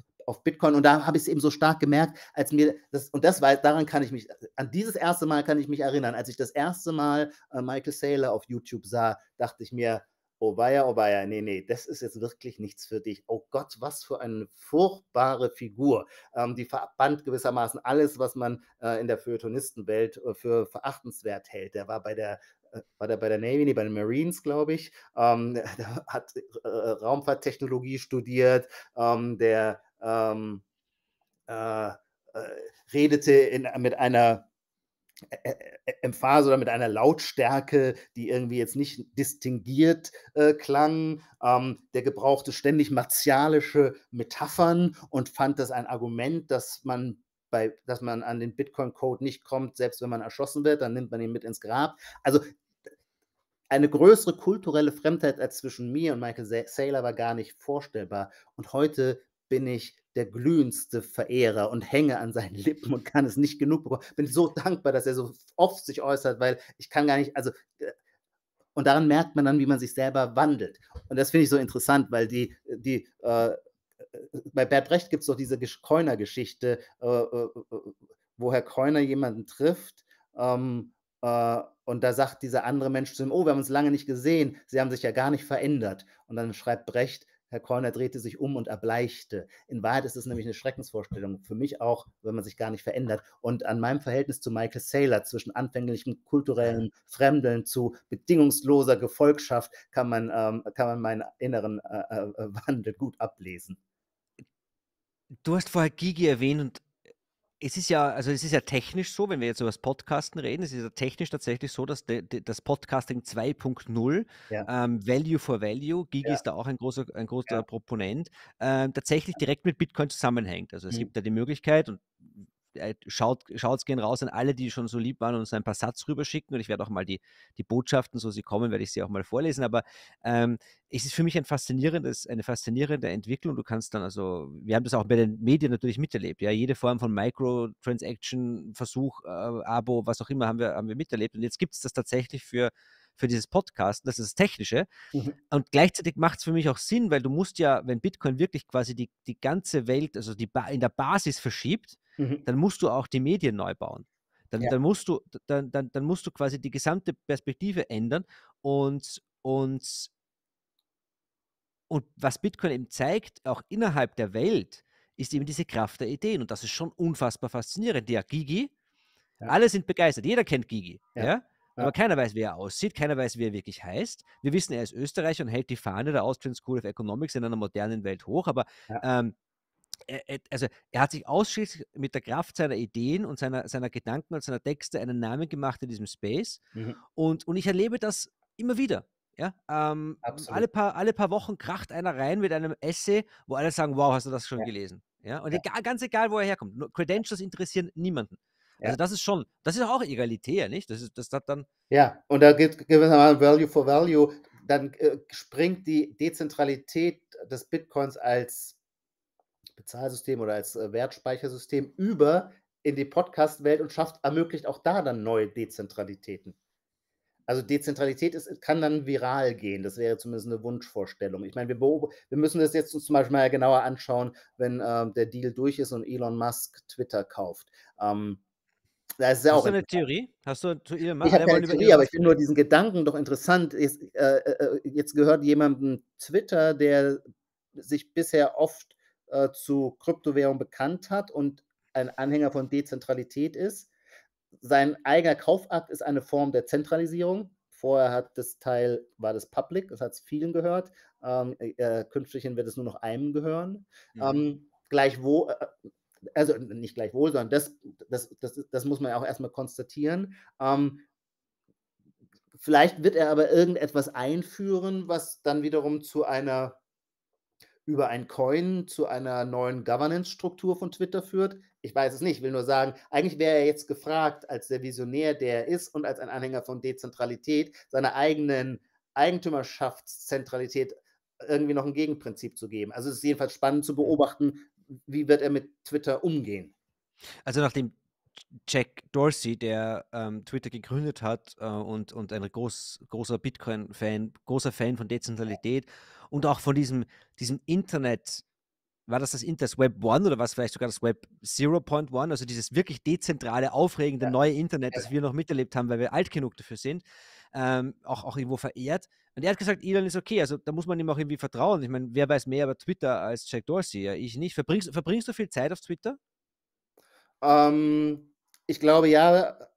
Also äh, äh, zum Beispiel, wenn ich mich vergleiche mit meiner äh, Freundin, verbringe ich äh, mein halbes Leben auf Twitter, aber das ist, glaube ich, unvermeidlich als Journalist. Ich gehöre auch nicht zu denen, die Twitter stark geißeln, weil ich auch immer da, auch da immer so stärker auf der Seite der Eigenverantwortung bin. Na klar kann das ein äh, Doomscrawling äh, ist nicht immer der, psychischen Gesundheit zuträglich, aber ich finde schon auch, mal, dass man erwachsene Menschen zutrauen sollte, ihren Medienkonsum zu steuern und zu kontrollieren, auch wenn das Incentive-System, ähm, wir wissen es, äh, der Algorithmen äh, verführerisch ist, zu viel Zeit zu verbringen. Nein, ich, sage, ich würde sagen, ich habe kein Addiction-Problem mit Twitter. Ähm, aber ja gut, das würde, das würde jeder Addict sagen, nicht? Nee, nee, nee, ich kenne, nein, nein, nein, nein, ich kenne viele, ich Freunde, die sagen, sie haben ein richtiges Problem damit.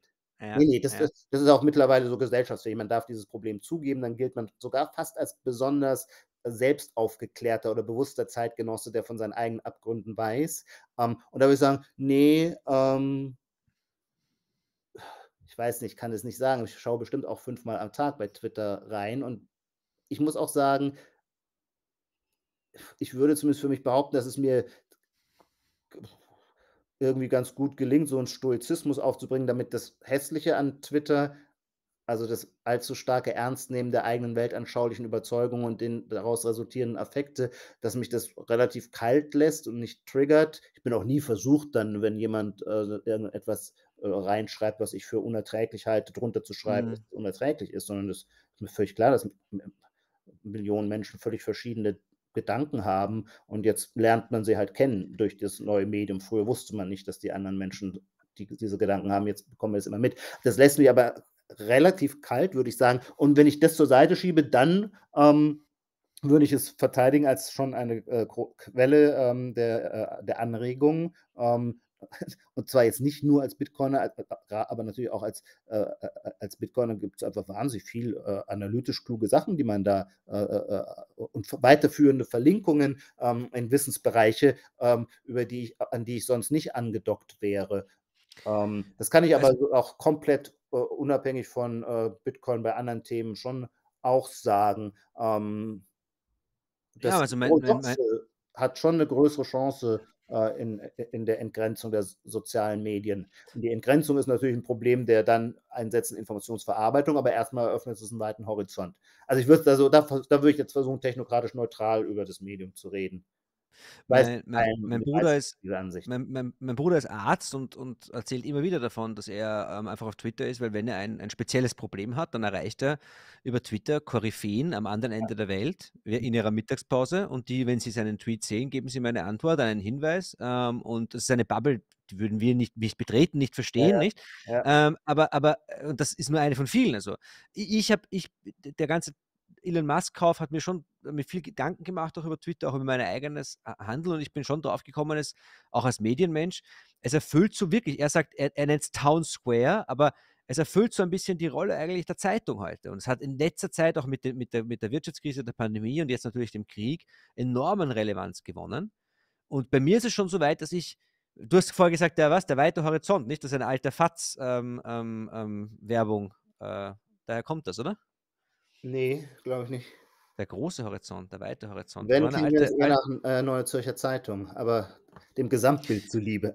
aber die FAZ, ähm, steckt immer ein kluger Kopf, das war doch der Slogan der FAZ, oder ist es? Ja, ich glaube, das war vorher, wenn ich mich recht entsinne, aber ist ah, egal. Ja. Jedenfalls die, die ähm, ich ertappe mich sogar dabei, dass ich dann, wenn ich was suche nach einer neuen Nachricht, und ich gehe gar nicht mehr auf Google, ich ja, gehe ja. direkt auf Twitter. Ja, ja, absolut. Und das ist schon eine, eine, eine hochinteressante. Aber gut, ähm, auch wenn ich jetzt noch unbedingt noch eine Stunde mit dir sprechen möchte, müssen wir, müssen wir schon langsam zum Ende kommen, Ijoma. Wie sieht es denn jetzt? Also genau, bevor, äh, Nico, bevor wir zu Ende kommen, äh, müssen wir noch so ein paar Aspekte ansprechen, wo ich dann eher der bin, der dich fragt, äh, weil du dich da so wahnsinnig gut auskennst. Und ähm, und da würde ich gerne von dir auch so ein bisschen Aufklärung bekommen. Ich habe doch vorhin ein bisschen darüber geredet, dass ich quasi meine große Lebensangst immer die der Petrifizierung ist, also dass die Dinge erstarren. Ähm, also dass so quasi die, in der Orthodoxie der vorgegebene, der Wiederholung vorgegebene Antworten. Und das ist, dass ich das selber immer als spannend finde, wenn das Leben was mit einem macht, dass man in so ein anderes äh, äh, Gewässer in anderen Ozean geworfen wird, wo man dann neu schwimmen lernen muss.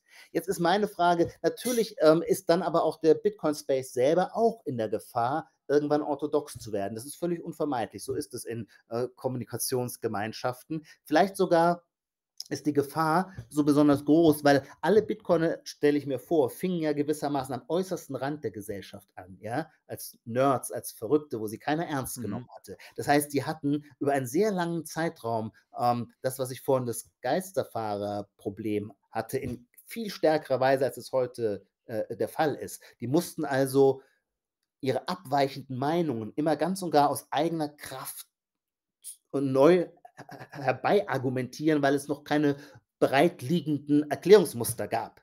Wie es für die orthodoxen Meinungen, die sind ja auch deswegen orthodox, weil es immer ganz viele Formulierungsmuster gibt. Wenn du dann eine bestimmte Ansicht hast, die orthodox ist, weißt du genau, welches Argument dann sagt, äh, du, äh, du, ziehen musst. Ähm, die Phrasen liegen bereit.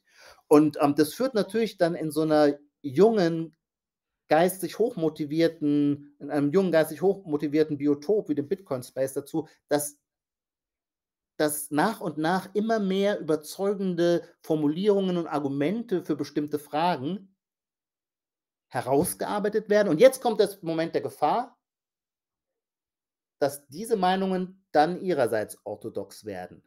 Das heißt, das, was mich am Bitcoin Space am meisten manchmal nervt, ist, dass ich das Gefühl habe, wir sind jetzt selber schon in einer Phase, wo wir bereitliegende Formulierungsmuster auf bestimmte Fragen einfach nur noch so, so den Knopf drücken und es dann so, so runterrattern. So ein bisschen wie bei Monty Python gab es doch mal diese äh, herrliche Gesellschaft, wo sich die Leute Witze erzählten, aber die hatten die Witze einfach durchnummeriert und erzählten die gar nicht mehr, sondern sagten einfach nur noch die Nummer und alle lachten sich tot, weil sie wussten, was gemeint ist. Und so ein bisschen haben wir das im Bitcoin-Space auch. Ähm, ja, Cantillon-Effekt. Irgendwer sagt was und dann sagst du Cantillon-Effekt ah, Vermögenspreisinflation. So, und, und ich meine nicht damit, dass das alles falsch ist, sondern wir sind natürlich so, wir sind einfach ein bisschen in der Gefahr, dass wir uns jetzt äh, schon eine eigene Semantik ganz toll erarbeitet haben und ab sofort wird es dann ein bisschen wohlfeil, sie zu, runterrattern zu lassen. Und da muss man irgendwie, da müssen wir uns äh, äh, quasi selber ein Stachel im Fleisch sein, dass das nicht passiert. Und, und daher meine, meine Frage, ich, ich, ich versuche es zuzuspielen auf diese eine Frage.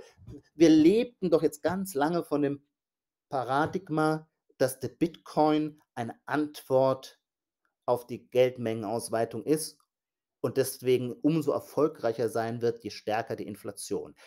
Die Bitcoin haben schon ganz lange vor der Gefahr der Inflation gewarnt und geredet.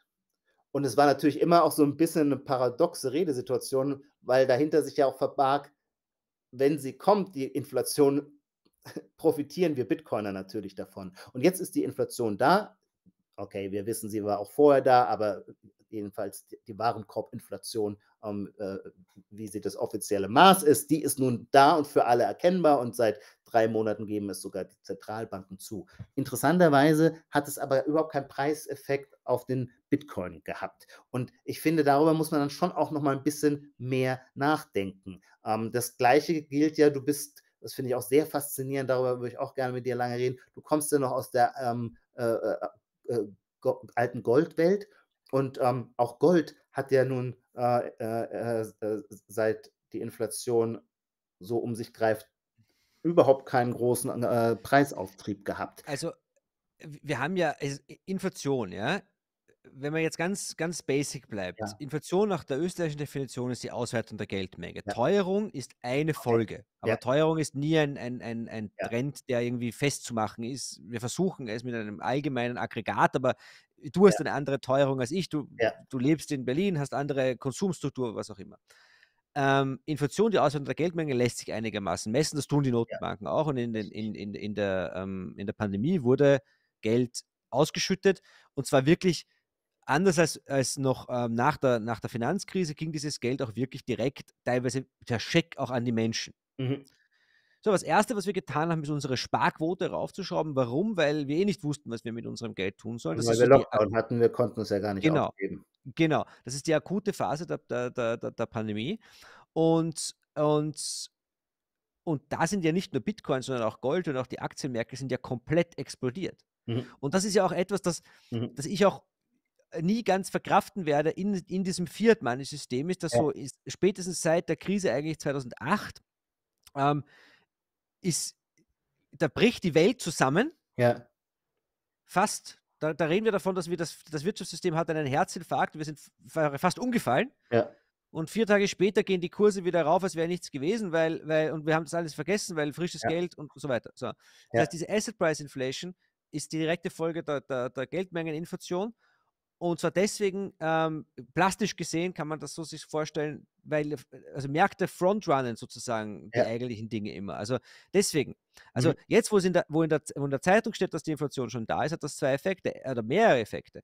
Erstens, die Menschen merken ja, das ist ja wirklich so, es ist ja nicht nur die, die Inflation ist ja nicht nur in der Zeitung, sondern wir merken es ja im Alltag, was dazu führt, dass wir unsere, unsere Ausgaben möglicherweise einschränken. Und das Erste, was wir einschränken werden, sind unsere Ausgaben für Finanzanlagen, weil, weil die brauchen wir nicht akut. Zweitens haben wir, haben wir ähm, es, da, da kommen die Notenbanken dann und die Notenbanken reagieren natürlich auf, ähm, auf diese Inflationszahlen mit eher einer zurückhaltenden Politik, einer hawkischen Politik. Sie erhöhen vielleicht sogar die Zinsen. Das heißt, wenn ab dem Zeitpunkt, wo die Notenbanken signalisieren, Inflation ist ein Problem, Mhm. Ist jeder Anstieg der Inflation schlecht für die Kurse von, von, von Risk Assets. Und, da, und Bitcoin wird jetzt schon noch immer als Risk Asset gehandelt, wobei es Ja, aber da muss ich doch, äh, da müssen wir doch dann auch mal äh, ja, ein bisschen ehrlicher darüber sein, dass wir ganz lange anders geredet haben. Da haben wir nie davon geredet, dass Bitcoin eine Risk Asset ist, sondern im Gegenteil die Versicherung ge gegen Volatilität, die Versicherung gegen Fiat-Währungen. Ja, ja, ja, ja. Vier, ne, langfristig auf jeden Fall. Ja, langfristig, schau- zoom out, ja. Also wir, es Ja. ist ja auch gestiegen von 3.000 auf 60.000 Dollar. Mhm. Ähm, also diese, das Mhm. war ja da. Ja, ja. Ähm, äh, die, die, kur, der kurzfristige Inflationshedge, der sofort reagiert, ich weiß nicht, ob der überhaupt existiert, Ah, ja. ähm, dass du quasi dich ge gegen, gegen eine, eine akute Geldentwertung so schützen kannst, dass du als einziger ähm, davon nicht, äh, du kannst eben vorher schon investiert sein in diese Asset Price Inflation, aber, aber nur weil es in der Zeitung steht und auch Inflation hat ja auch noch den zusätzlichen Effekt, dass ähm, wenn die Preise mal zu teuer sind, dann Mhm. hören wir auf zu kaufen und dann gehen die Preise auch wieder runter mit der Wirtschaft. Ja. Und ich glaube, was wir jetzt sehen werden, ähm, das, da hänge ich mich jetzt weit aus dem Fenster, aber man kann es schon beobachten, die Immo-Sache. Ja. Die Immobilien werden jetzt langsam, denen geht es jetzt an den Kragen. ja, das Ja, hört man jetzt schon aus den ähm, USA, Preisrückgänge, gell? Und, und, und auch vollkommen zu Recht. Und auch die Aktien. Zoom, ja, war, äh, ist jetzt wieder auf dem Niveau von vor, von vor der Krise. Ja. Netflix äh, kracht runter, weil sie plötzlich ähm, weniger, weniger, also da ist so viel Funny Money drinnen, dass die auch schon wahnsinnig volatil werden.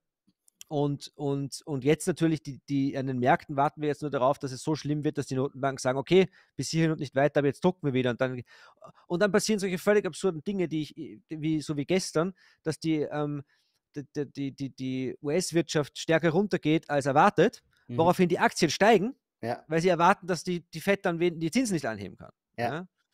Ja? Äh, was natürlich kein Mensch verstehen kann. Also also die, die, man muss sich einfach, man muss halt am Ende des Tages sagen, äh, sich auf den Markt auch verlassen, ja, und, Mhm. und, und nicht glauben, man ist schlauer. Es ist, everything is priced in. Ähm, und wer, wer glaubt, ähm, er, kann, er kann das Ganze navigieren, wird, wird meistens auf die, auf die, auf den, aufs Maul fallen. Kann ich nur selber sagen, ja, weil ich, weil jedes Mal, wenn ich geglaubt habe, ich bin so schlau, äh, ich Mhm. mache jetzt was, dann ist es nach hinten losgegangen.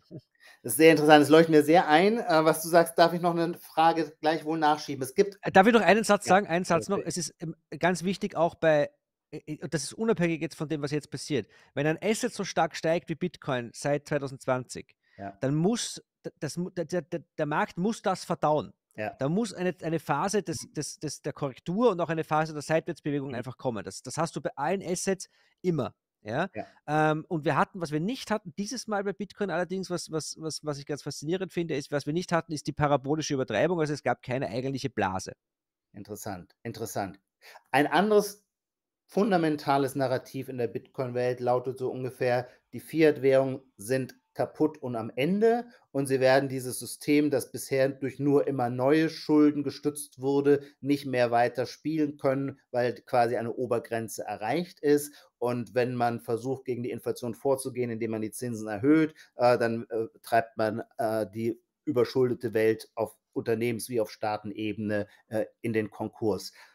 Jetzt gewissermaßen ähm, äh, gilt's, hier gilt's der Kunst. Jetzt äh, sind wir tatsächlich in diesem sehr spannenden Moment, ähm, wo äh, die Zentralbanken anfangen gegenzusteuern oder zumindest die Fed anfängt gegenzusteuern. Und zwar, du sagtest gerade selber, ziemlich hawkisch. Ähm, die werden bestimmt natürlich nicht die Höhe äh, der Inflation erreichen, ähm, die, äh, die 8%, aber es ist nicht mehr ausgeschlossen, dass wir in einem Jahr vielleicht bei 4% sind. Und da würde ich, frage ich dich, was macht das mit unserem da würdest du mir doch zustimmen, dass es dieses Narrativ gab. Was macht es mit diesem Narrativ, dass er eigentlich sagte, äh, es ist eigentlich es ist eine Stabilisierung des Fiat-Systems durch Zinserhöhung nicht denkbar? Ja, langfristig ist es nicht denkbar. Ja, also ich habe auch ähm, mein persönliches Bitcoin-Story beginnt 2013 und ich habe ja. lange nicht an Bitcoin geglaubt, aus verschiedenen Gründen nicht an Bitcoin ja. geglaubt. Und ich habe auch noch äh, im Abverkauf 2020 nicht an Bitcoin geglaubt. Aber als ich dann realisiert habe, dass diese Story, die sie uns ja vor 2020 schon erzählt haben, ähm, dass wir jetzt wieder auf einen Pfad der Normalität zurückkehren und so weiter, dass die jetzt erst recht beim Fenster raus ist, ja. Und dann, als die Pandemie zumindest langsam zu Ende geht, ähm, kommt plötzlich der Krieg. Ja. Ja? ja also diese exogenen Schocks, einer nach dem ja. anderen, auf dieses System, das ohnehin schon in den Seilen hängt. Ja? Und der Krieg hat ja auch eine unglaublich große währungspolitische Komponente, also mit, den, mit, der, mit der Sperrung der Währungsreserven etc. Also ähm, langfristig sehe ich, sehe ich nicht, wie die Zinspolitik, also eine Zinswende in dem Sinn, dass dann, dass dann irgendwie die Zinsen steigen, steigen, steigen.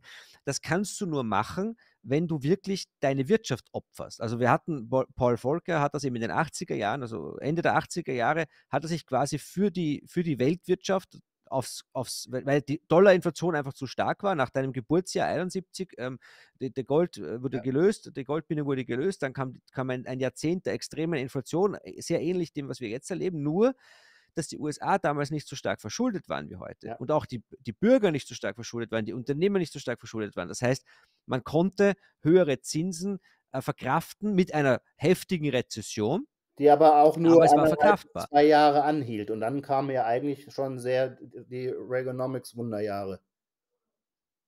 Genau, dann ist es wieder losgegangen mit, mit, mit den Wunderjahren und dann kommt der ganze Neoliberalismus unter Anführungszeichen, der in Wahrheit, also ich bin der Meinung, dass Ideologie immer den, den, den Notwendigkeiten der, der, Zentralbank folgt und nicht umgekehrt. Die Notenbanker machen das, was sie tun müssen und nachher suchen wir uns einen Ökonomen, der uns das erklärt. Ja? Mhm. Und nach dem, nach den, also in den 80er Jahren für das Wachstum, da wurde, es gab ja unter einem Goldstandard, auch unter einem Bitcoin-Standard, hast du ja keine, kein, ist ja das kein Beruf, Geld hin und her zu verschieben. Ja, und, und, und zu wetten hier und, und Arbitrage da. Also die, die, die, ähm, es musste dann zu dieser Deregulierung kommen im Westen und, und, und, und äh, dann kam es zum Mikrochip. Und der Mikrochip hat dann, hat dann das, die ganze Lebenszeit äh, auch des US-Dollarsystems wirklich nochmal um 10, 20 Jahre verlängert, weil, weil diese, diese Industrie in den USA entstanden ist und von dort aus wieder eine unfassbare Kraft entwickelt hat. Das Problem ist nur, oder das eigentlich Wunderbare, und da sind wir dann wieder bei Bitcoin, äh, bei Jeff Booth, den du wahrscheinlich auch gut kennst ja. inzwischen, ähm, diese Deflation durch die. Technologie, die an sich etwas Gutes ist, ja, die macht unser Leben billiger und besser, die geht so schnell, dass das inflationäre Geldsystem nicht mehr mithalten kann. Das ist etwas, was du nicht beweisen kannst. Aber wenn du, das, das kannst du nur nach Anekdoten beobachten. Aber ich glaube, dass es, dass, es sehr, dass es sichtbar ist. Ich glaube, dass es auch sichtbar ist bei den Menschen. Wir machen heute alles, ja. Ich habe hier ein Handy und einen Laptop und sonst habe ich eigentlich nichts außer die Kleider an meinem Körper, weil, weil mhm. alles andere ist optional. Ja. Ähm, und, und ich könnte auch diesen Podcast jetzt nicht machen mit dem Aufwand, den ich betreibe, wenn ich kein Internet hätte und kein, ja. Ja, kein Computer. Du sitzt weit weg, ich müsste jetzt hinfliegen, das kostet viel Geld. Zuerst muss ich mal einen Fernsehsender kaufen, mir eine Lizenz ziehen ja, beim Start, nicht? Das dauert 30 Jahre. Ja?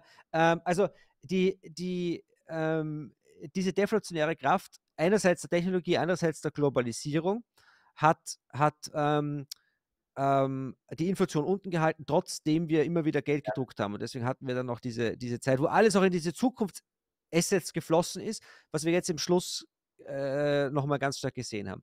Ähm, wie es weitergeht, weiß ich nicht. Äh, möglicherweise, äh, ich kann dir nicht sagen, wie hoch die Zinsen steigen können, weil ich kann dir auch nicht sagen, wie hoch die Inflation steigen wird. Das, ja. das ist ein bisschen das Problem. Ja? Es kann schon sein, dass wenn die Inflation komplett eskaliert, dann kannst wir haben in, in, in Russland die, sind die Zinsen auch auf 14 Prozent äh, gestiegen, jetzt wieder auf 12 Prozent gesenkt. Also es gibt das schon. Ähm, aber, aber langfristig werden die Zinsen, die realen Zinsen natürlich steigen, Mhm. Ja, äh, sogar extrem steigen, in, in, vor allem wenn wir in eine Bitcoin-Welt wechseln, weil da wird Kredit sehr, sehr schlecht zu, schwer zu bekommen sein, was wiederum äh, viele Menschen nicht verstehen als etwas Gutes. Ähm, und und ähm, das, also diesen Effekt wird es auf jeden Fall haben. Ja? Also dieses Pendel von weichem Geld zu hartem Geld, das schwankt schon und wir sind jetzt, und, und das ist mein Argument auch, was Bitcoin betrifft, äh, und was auch die Bitcoiner, glaube ich, ähm, ähm, du hast vorhin von den Glaubenssätzen geredet und so, ja.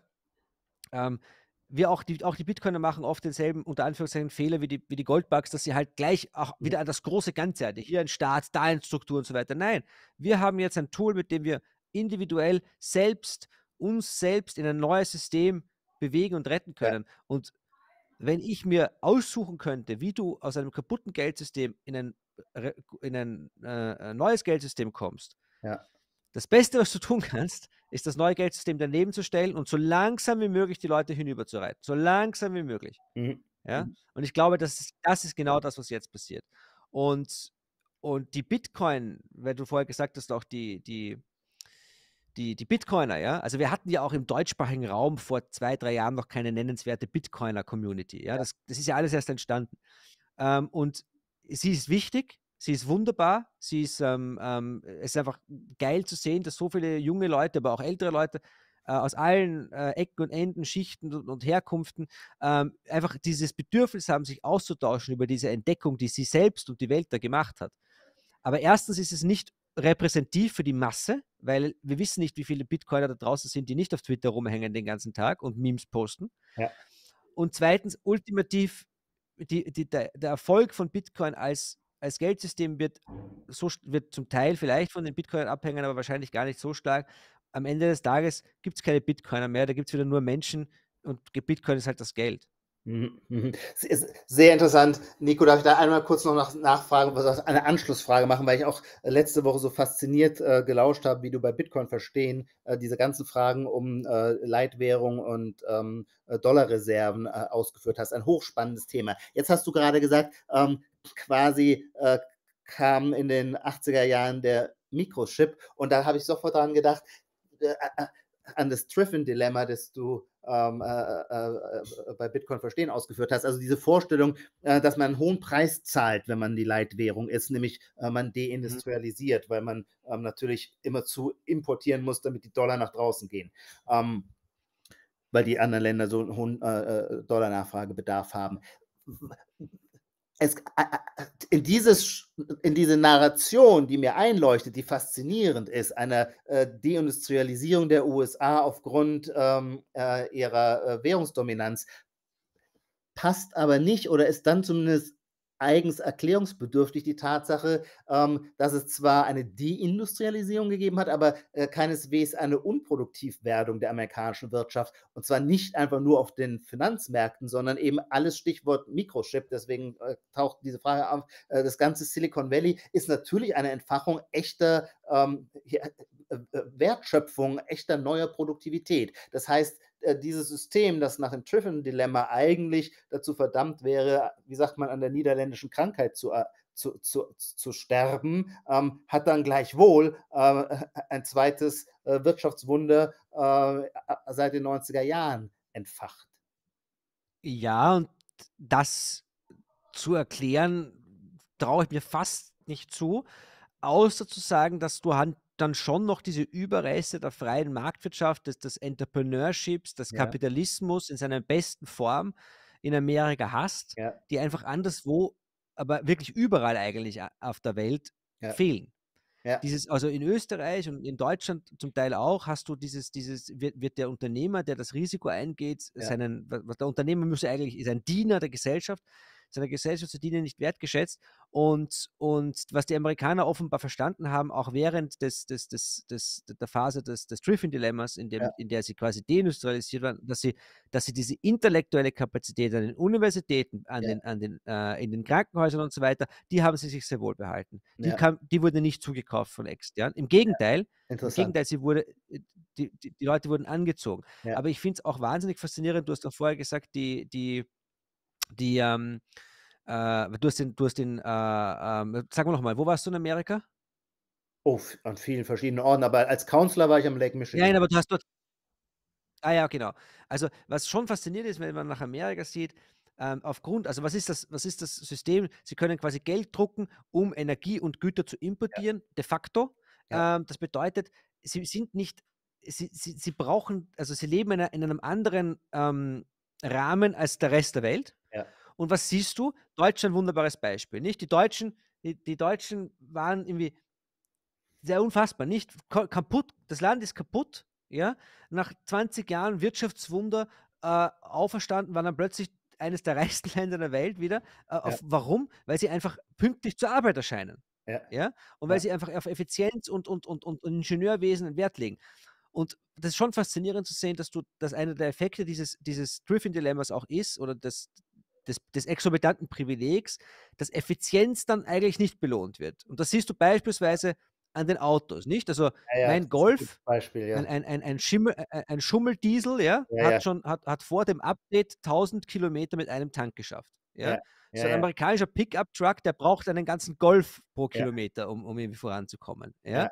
Ähm, und, und das heißt, du hast, du hast natürlich äh, bei den anderen, auch bei den Japanern genauso, du hast, du hast im, im außerhalb eine, eine Effizienzsteigerung produ- provoziert, Ja. ja, ähm, die, die dir gefährlich geworden ist. Sowohl die deutsche Industrie als auch die japanische Industrie ist dir, ist dir gefährlich geworden. Aber man hat sich abgesichert ähm, durch verschiedene Dinge, militärisch natürlich, aber auch dadurch, dass du, dass du halt in, in Deutschland dann stehst du an, ja, Entrepreneurship, Bürokratie und so weiter, dann und Silicon Valley ist halt dann nicht in Deutschland entstanden und auch nicht in Japan. Daraus, daraus Ähm, was du sagst, könnte man auch wieder ja- ein tolles Pro-Bitcoin-Argument machen, in dem Sinne, äh, man, wenn, die, wenn die Dinge was kosten, äh, äh, äh, wird man besser.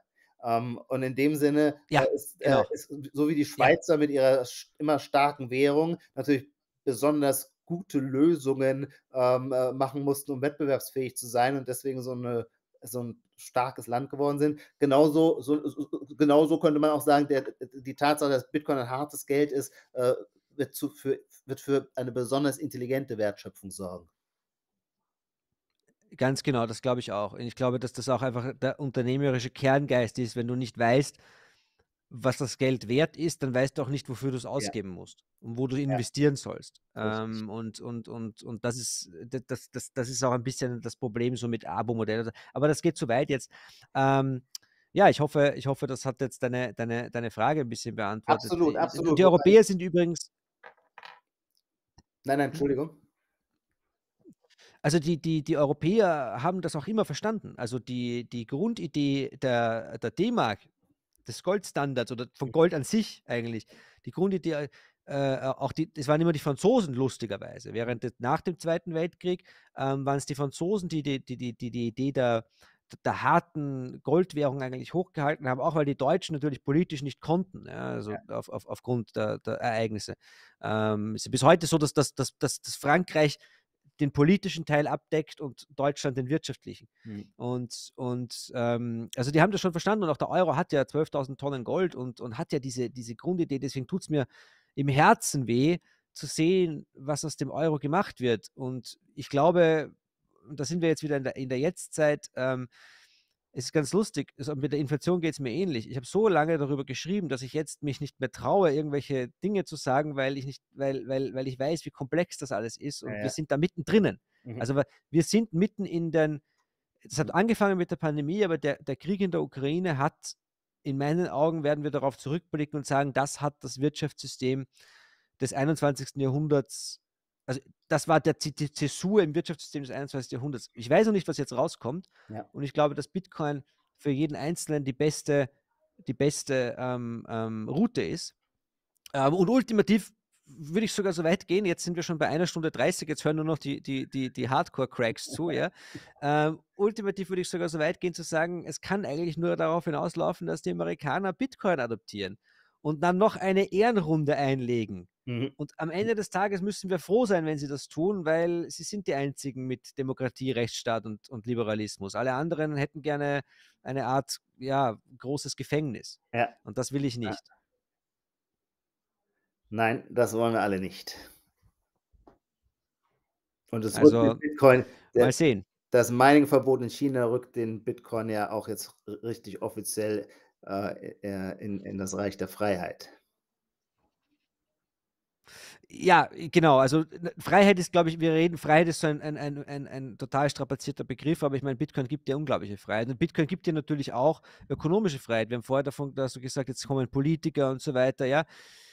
Es ist halt nun mal auch ein ökonomischer Faktor heute. Ja? Ähm, und, und, und Geld, in, auch in unserem System, wahrscheinlich in jedem System, kauft dir, kauft dir Macht und kauft dir Einfluss. Und ähm, und, und gerade in Amerika geht das dann sehr schnell, ja? ähm, mit, mit, weil das schon sehr dezentral ist. Ne? Amerika ist noch dazu so dezentral. Ja? Deutschland ist ja an sich auch sehr dezentral, die EU eher nicht so. Das ist eher, ist ja ein schweres Problem jetzt auch. Ja? Diese, diese, ähm, das, vor allem, weil wir, auch, weil wir es nicht wert, also was uns völlig fehlt in Europa, ist A, ein Bewusstsein für unsere eigenen Interessen.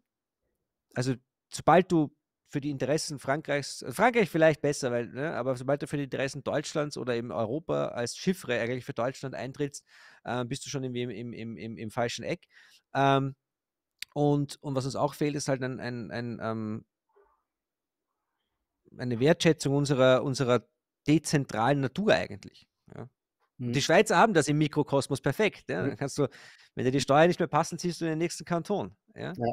Wir haben das vielbeschworene Wort der Subsidiarität, die aber das politische Handeln nicht mehr so stark prägt und lenkt. Aber es war mal eigentlich der Zentralbegriff, nicht nur der Bundesrepublik, sondern auch des europäischen Gedankens. Wenn du willst, dass etwas sich nicht durchsetzt, dann nenne es Subsidiarität. Ja? also, so, dann das, das, äh, da, beim, beim, ich habe das mal gelesen, ähm, ich bin mir nicht mehr sicher, ob es stimmt und ich kann es nicht mehr finden, aber ich bin mir sicher, dass ich es mal gelesen habe. Da gibt es eben beim IWF die sogenannten Special Drawing Rights, diese Kunstwährung, die, die eben auf, auf Reaktion von Triffin eingeführt wurde. Und die Franzosen haben damals offenbar, ich möchte bitte, nagelt mich nicht fest, aber ich habe das in meinem Kopf, haben sich eben damals dafür eingesetzt, das Special Drawing Rights zu nennen, weil sie gesagt haben, wenn der Name schon so, so beschissen ist, dann wird sich das nie durchsetzen. Ja? Ja. Also, vielleicht hilft uns Bitcoin, nicht? Weil, weil, Bitcoin wird Kostenwahrheit herstellen in gewissen Bereichen. Es wird nur ein bisschen dauern, aber es wird Kostenwahrheit herstellen und, und, und das führt sicher, muss dazu führen, dass die Entscheidungen besser werden. Hm. Ja, daran glaube ich auch. Jetzt darf ich wieder übernehmen für die letzte Frage. Unbedingt. Wo, wo stehst du auf deiner Reise ins Bitcoin Rabbit Hole? Du hast erzählt, ich glaube 2020 hat sie begonnen mit Podcasts. Ähm, ähm, wer, was sind derzeit so die Dinge, die du, am, die du am liebsten konsumierst? Bist du auch, konsumierst du auch den deutschen Content? Ja, ja, klar, ähm, natürlich. Und, und wo, wo, stehst du? Ich bin auch für den deutschen Content wahnsinnig dankbar, weil es äh, auch, auch, so ein bisschen sich näher an meine Lebenswelt herannähert, wenn es für all die Gedanken auch deutsche Begriffe gibt. Ähm, mein Englisch ist nicht das allerbeste. Das heißt, ich habe äh, beim äh, übermäßigen Konsum von englischsprachigen Podcasts auch immer ein bisschen die Sorge, äh, dass mich die Argumente so wahnsinnig beeindrucken, äh, äh, einfach deswegen, weil ich mich von der fremden Sprache so beeindrucken lasse, weil ich sie nicht so ganz verstehe und dass das Ganze in, in, ins, ins biedere Deutsch übertragen vielleicht gar nicht so funkelnd ist. Also insofern ist mir, ist, äh, begrüße ich das sehr. Wir haben jetzt nochmal eine, ähm, auch so eine quantitative Explosion an Podcasts zum Bitcoin äh, erlebt in den letzten Monaten. Ähm, ist ja, bist ja nicht nur du an den Start mhm. gegangen, sondern äh, äh, äh, sehr viele andere äh, Podcasts, die alle je, jeweils dann sehr unterschiedlich ausgerichtet sind. Ähm, das finde ich, dafür bin ich sehr, sehr dankbar. An dich möchte ich appellieren, wer, ich finde, das ist noch äh, eine noch nicht, ihr sagt doch in Österreich immer eine gemähte Wiesen, eine nicht gemähte Wiesen äh, äh, äh, äh im deutschsprachigen Bitcoin-Podcast-Space ist, finde ich, wirklich diese harten, finanz- und geldpolitischen Fragen. Ähm, also Mhm. das, was du auch jetzt ausgeführt hast zur, zur Frage Triffin Dilemma, was heißt es, Leitwährung zu sein, ähm, äh, welche Auswirkungen haben Zinsveränderungen, ähm, äh, wie geht die, was heißt, was ist der Zusammenhang? Zum Beispiel, das finde ich so, das ist etwas, was mich so fasziniert, weil ich so, so nur so halb verstehe, also der Zusammenhang zwischen, zwischen den Staatsschulden ähm, und der Geldmengenausweitung. Also diese, diese, dieses, diese, wenn man das einmal sich vor Augen führt, äh, wie parallel gewissermaßen äh, die Geldmenge zunimmt und die Staatsschuld, weil es ja auch völlig Ja. logisch ist, weil die Regierung die Staatsschulden als Anleihen ausreicht rausreichen und die äh, Zentralbanken sie dann aufkaufen, ähm, äh, ist ein direkter Kausalzusammenhang. Also all diese äh, Fragen, mit denen ich, über die ich früher nie nachgedacht habe und in die ich versuche, mich einzuarbeiten,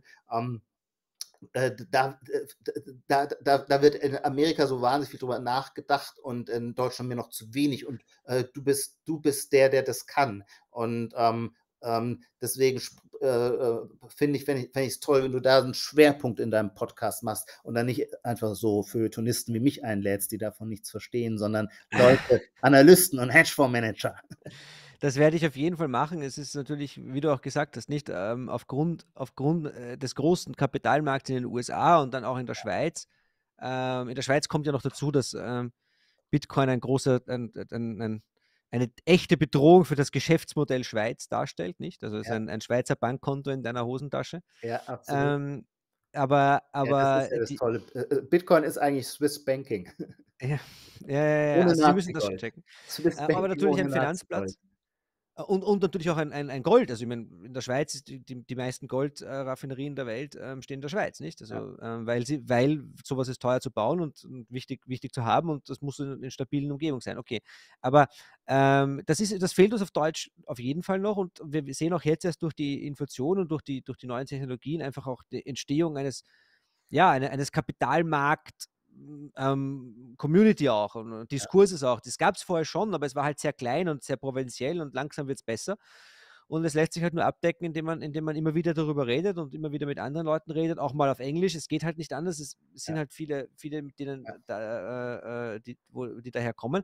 Ähm, ja, aber danke für den Hinweis. Ich werde mir das auf jeden Fall zu Herzen nehmen und, und in den nächsten Wochen noch stärker in diese Richtung gehen. Ja. Ichoma, vielen herzlichen Dank für deine Zeit. Es war mir ein Vergnügen. Es war mir ein ganz großes Vergnügen. Wir setzen das garantiert fort. Ich hoffe, dass du irgendwann mal nach Wien kommst. Dann bitte melde dich bei mir. Und sehr, wenn ich in Berlin bin, mache ich das natürlich auch. Ich wünsche dir alles Gute auf deiner weiteren Reise. Ähm, letzte Frage vielleicht noch, weil es mich wirklich interessiert. Wie, ja. wie, wie gehen deine Kollegen bei der Zeit mit dem, mit, mit, mit dem Ichoma und seinem Bitcoin um? Weil äh, gerade die Wirtschaftsredaktion ist ja von Bitcoin nicht mehr begeistert, nicht? Ja, aber wir sind ein pluralistisches Haus und sind das, äh, halten das gut aus, dass es da unterschiedliche Ansichten gibt und dass ich für äh, hin und wieder auf verrückte Gedanken komme. Das sind meine lieben Kollegen gewöhnt und da haben sie eine große äh, äh Toleranz entwickelt. Ausgezeichnet. Alles Gute, Joma. Danke dir.